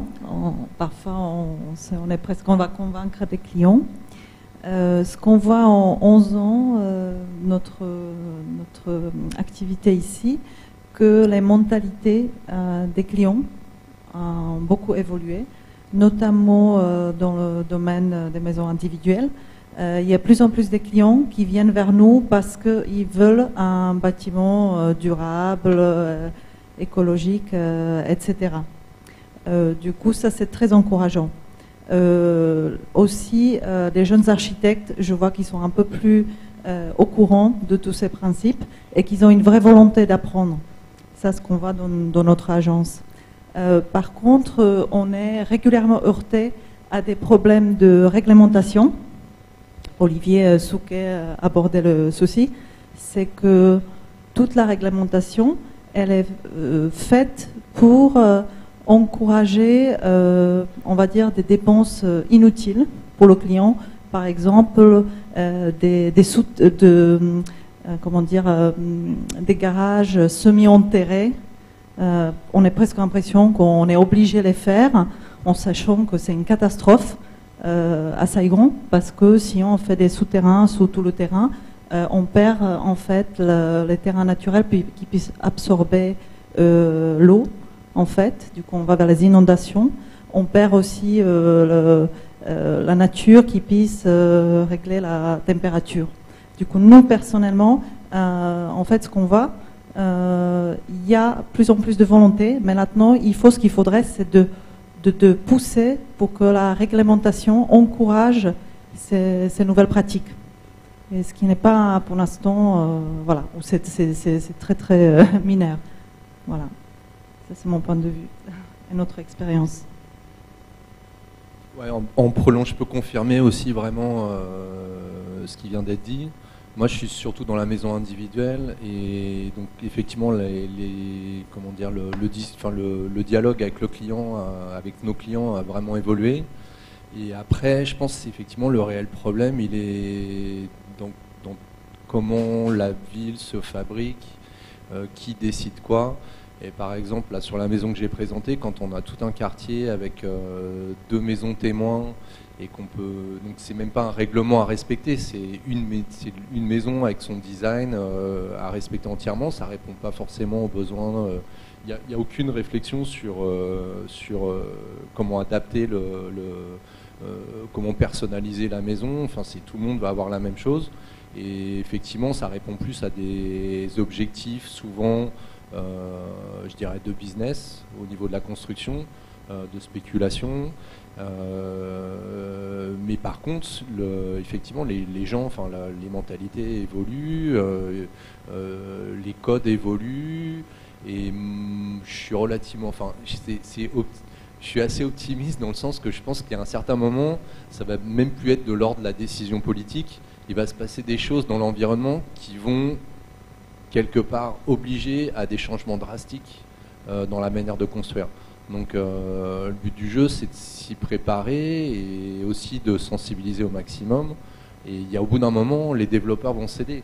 Et après, c'est aussi de la responsabilité du, politique. Donc je connais, enfin c'est pareil, je connais pas vraiment la structure au Vietnam euh, exactement, exactement comment ça se passe, mais j'ai tendance à penser quand même que euh, par manque de moyens, peut-être par manque de, structuration, on laisse des développeurs euh, faire la ville et avec pas forcément une démarche euh, qui va une démarche euh, constructive enfin qui va tendre vers vers, vers ce que ce qu'on ce qu'on essaie de développer chacun chacun de notre côté. Ce qui est sûr et certain c'est que des petites actions de petits d'architectes isolés et ça va pas faire ça va pas créer quelque chose de super significatif dans un court terme. Euh, par contre, euh, travailler avec des étudiants, sensibiliser, publier un maximum, euh, ouais, se, faire entendre. Ça, par contre, je pense peut avoir un effet, un effet significatif.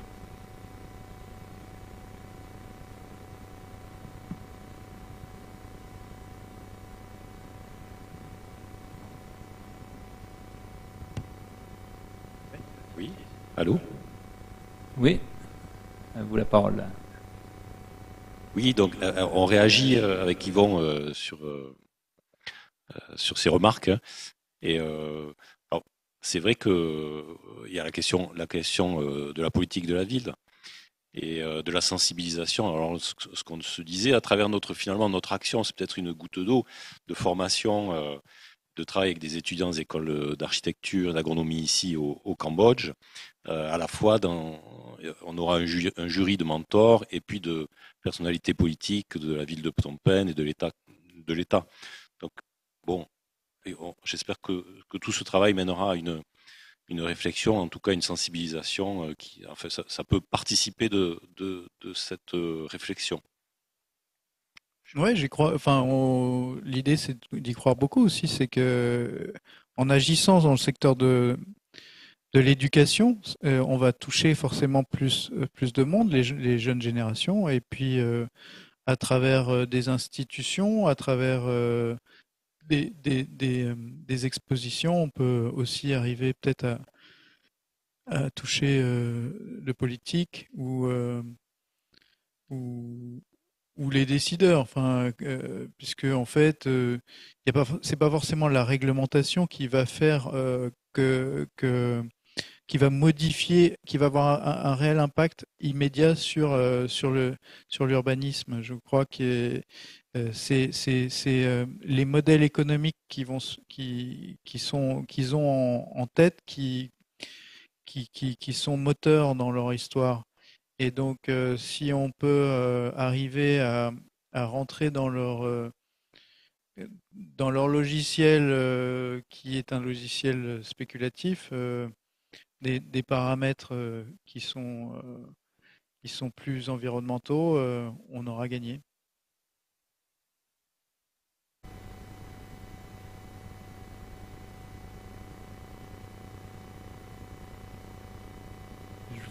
Une question au fond, Jonathan.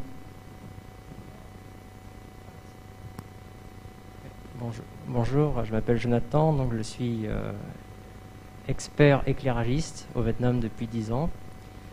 Euh, je rebondis sur ce que disait Yvon par rapport à l'éducation. est sur la thématique Imaginer l'architecture en Asie du Sud-Est.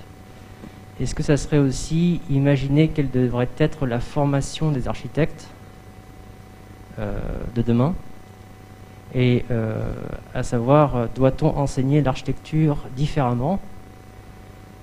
Ça, c'est une première question. Et la deuxième question, est-ce que Michael, Teresa, Yvon, Tang et Charles, vous, euh, pourriez enseigner à terme, si ce n'est pas encore le cas, euh, au Vietnam ou euh, en France?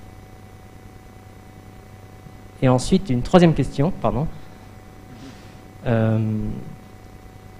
imaginez l'architecture en Asie du Sud-Est de demain. Est-ce que ce serait aussi faire intervenir peut-être plus d'experts Parce que parce que je vois que le, métier d'architecte et euh, dans le cadre d'un projet, euh, c'est compliqué, euh, ça pose énormément de problèmes. Alors l'architecte va en, résoudre un, bon nombre, j'imagine, selon le budget et selon les délais. Mais est-ce qu'on ne devrait pas aussi impliquer systématiquement des experts pour atteindre les objectifs durables et sociaux? Merci. Alors pour répondre à la, dernière question de travailler de manière pluridisciplinaire, ça je pense qu'on y est tous favorables et on le fait déjà plus ou moins. Hein. L'architecte n'est pas seul. On travaille avec des ingénieurs structures, ingénieurs fluides, paysagistes, etc., euh, etc., thermiciens. Après, ce qui peut être difficile parfois, c'est de faire accepter leurs honoraires par les clients. Donc c'est une question à nouveau d'éducation qui comprennent qu'un consultant qu'on paye euh, finalement est profitable euh, si on se projette à, moyen long terme. Si on est dans une pensée très court terme, on n'arrivera jamais à faire de l'architecture frugale, écologique. Parce que construire durable, c'est avant tout construire pour 50, 100 ans, et là on est bien placé pour, le, pour en parler. On est dans une maison qui a plus d'un siècle, qui est parfaitement conçu pour un climat tropical et on est encore euh, confortablement installé un siècle après sans qu'il y ait eu de travaux majeurs. Donc euh, comme quoi ça paye de, faire les choses bien euh, depuis le départ. Mais ça c'est vraiment une question de formation de, des investisseurs. Pour la question de l'enseignant, peut-être que je peux donner la parole à Tang qui a, été approché pour donner des cours en architecture et c'est pas si facile.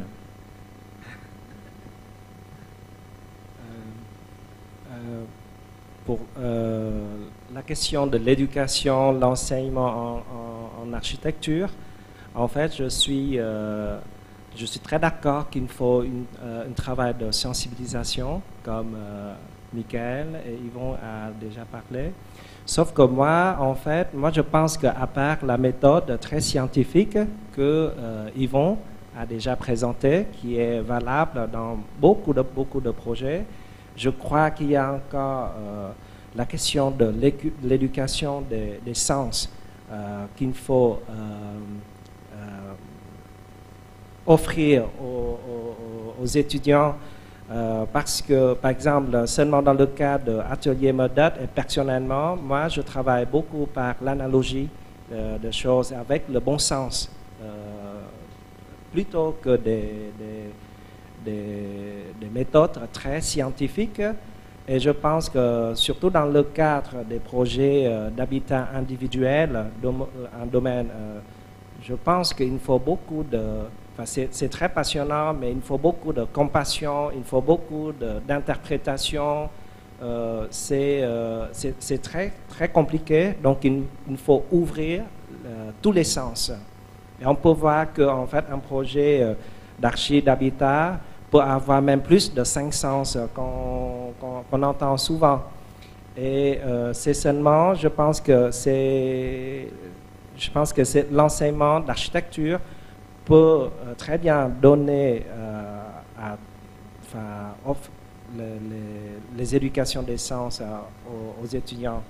Et je, suis convaincu que dans un projet, euh, en fait, quand tous les sens comme ça sont travaillés, en fait, ça va de bon sens que, en fait, toute la question bioclimatique, euh, tout ça est, est, bien résolu. C'est dans le cas du projet de, de, Michael a, présenté déjà, et aussi dans, mon expérience, c'est sûr qu'en fait, par exemple, dans mon, mon approche, il n'y a pas de réflexion, euh, il y a beaucoup de réflexion qui vient dans le, euh, en, amont, dans la conception, mais c'est pendant le, tout le processus jusqu'au résultat.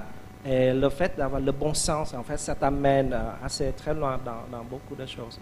Et je pense que ça, c'est quelque chose très euh, que je tiens beaucoup à, euh, à partager avec les étudiants ici et, et pour ceux qui, qui peuvent enseigner l'architecture. Donc en gros, il faudrait plus de sciences humaines dans les études d'architecture au Vietnam, au Cambodge, je ne sais pas. Mais clairement, on construit d'abord pour des gens. Ne faut pas l'oublier, on ne fait pas que des sculptures pour flatter son ego, mais on construit pour, pour des hommes et des femmes et des enfants. Donc ça, faut pas le, jamais l'oublier. Et c'est vrai que pendant longtemps, en tout cas au Vietnam, la forme prévalait, euh, la taille aussi. Hein. On est toujours fier d'avoir fait un gros projet. Alors que finalement, ce n'est pas du tout euh, important. Quoi. Quelle que soit l'échelle, c'est le, le, le, sens qu'on veut bien y donner et s'assurer qu'au final, ça soit des bâtiments agréables à vivre. Dernière question, parce que je crois qu'on est un peu hors,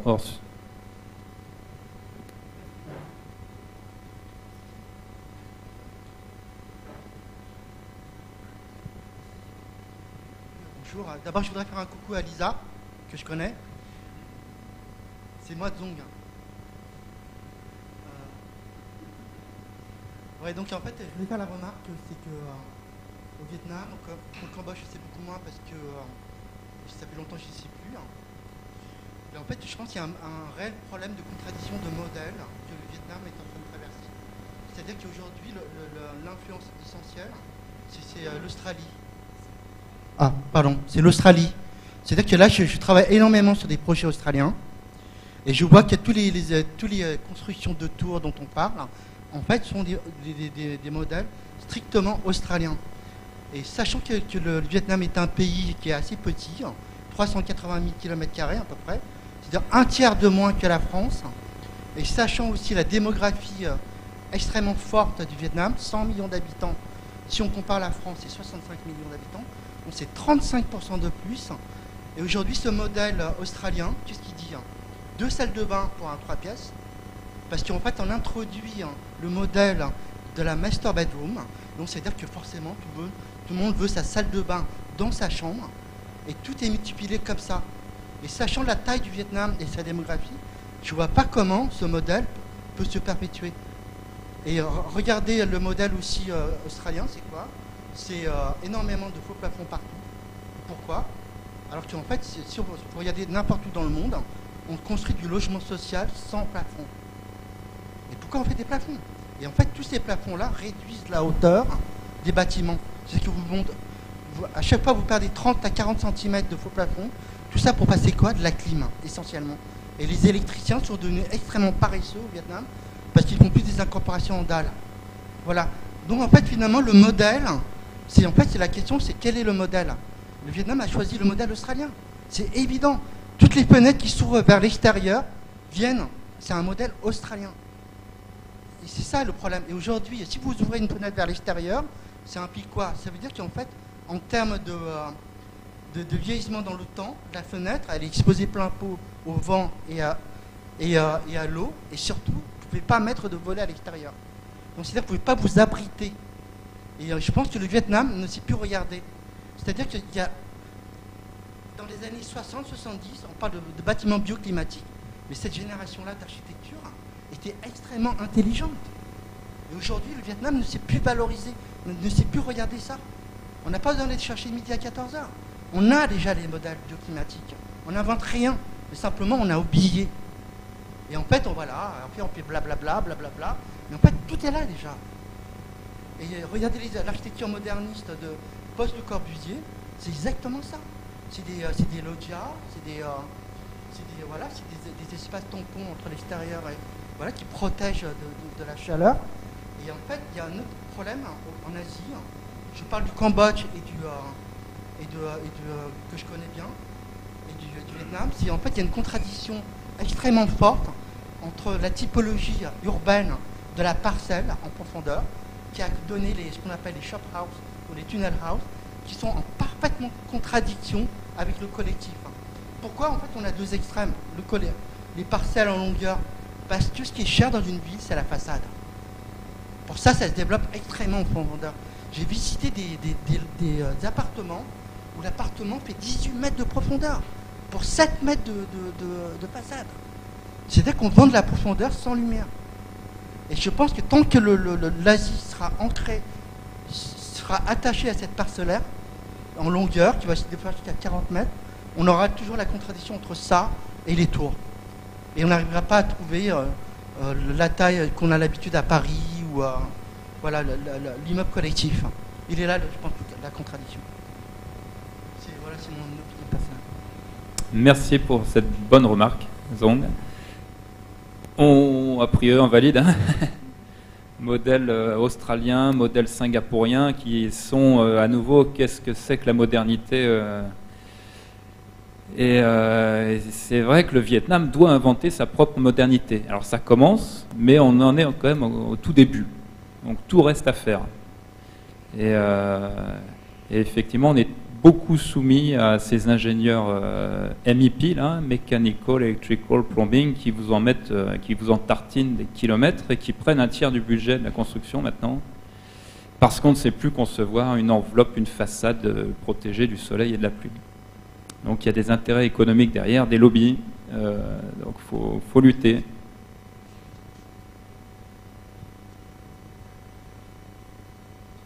Je crois qu'on a on a bien débattu. Je ne sais pas si quelqu'un veut rajouter quelque chose, un des intervenants. Sinon, euh, je redonne la parole à Frédéric et à l'Institut français.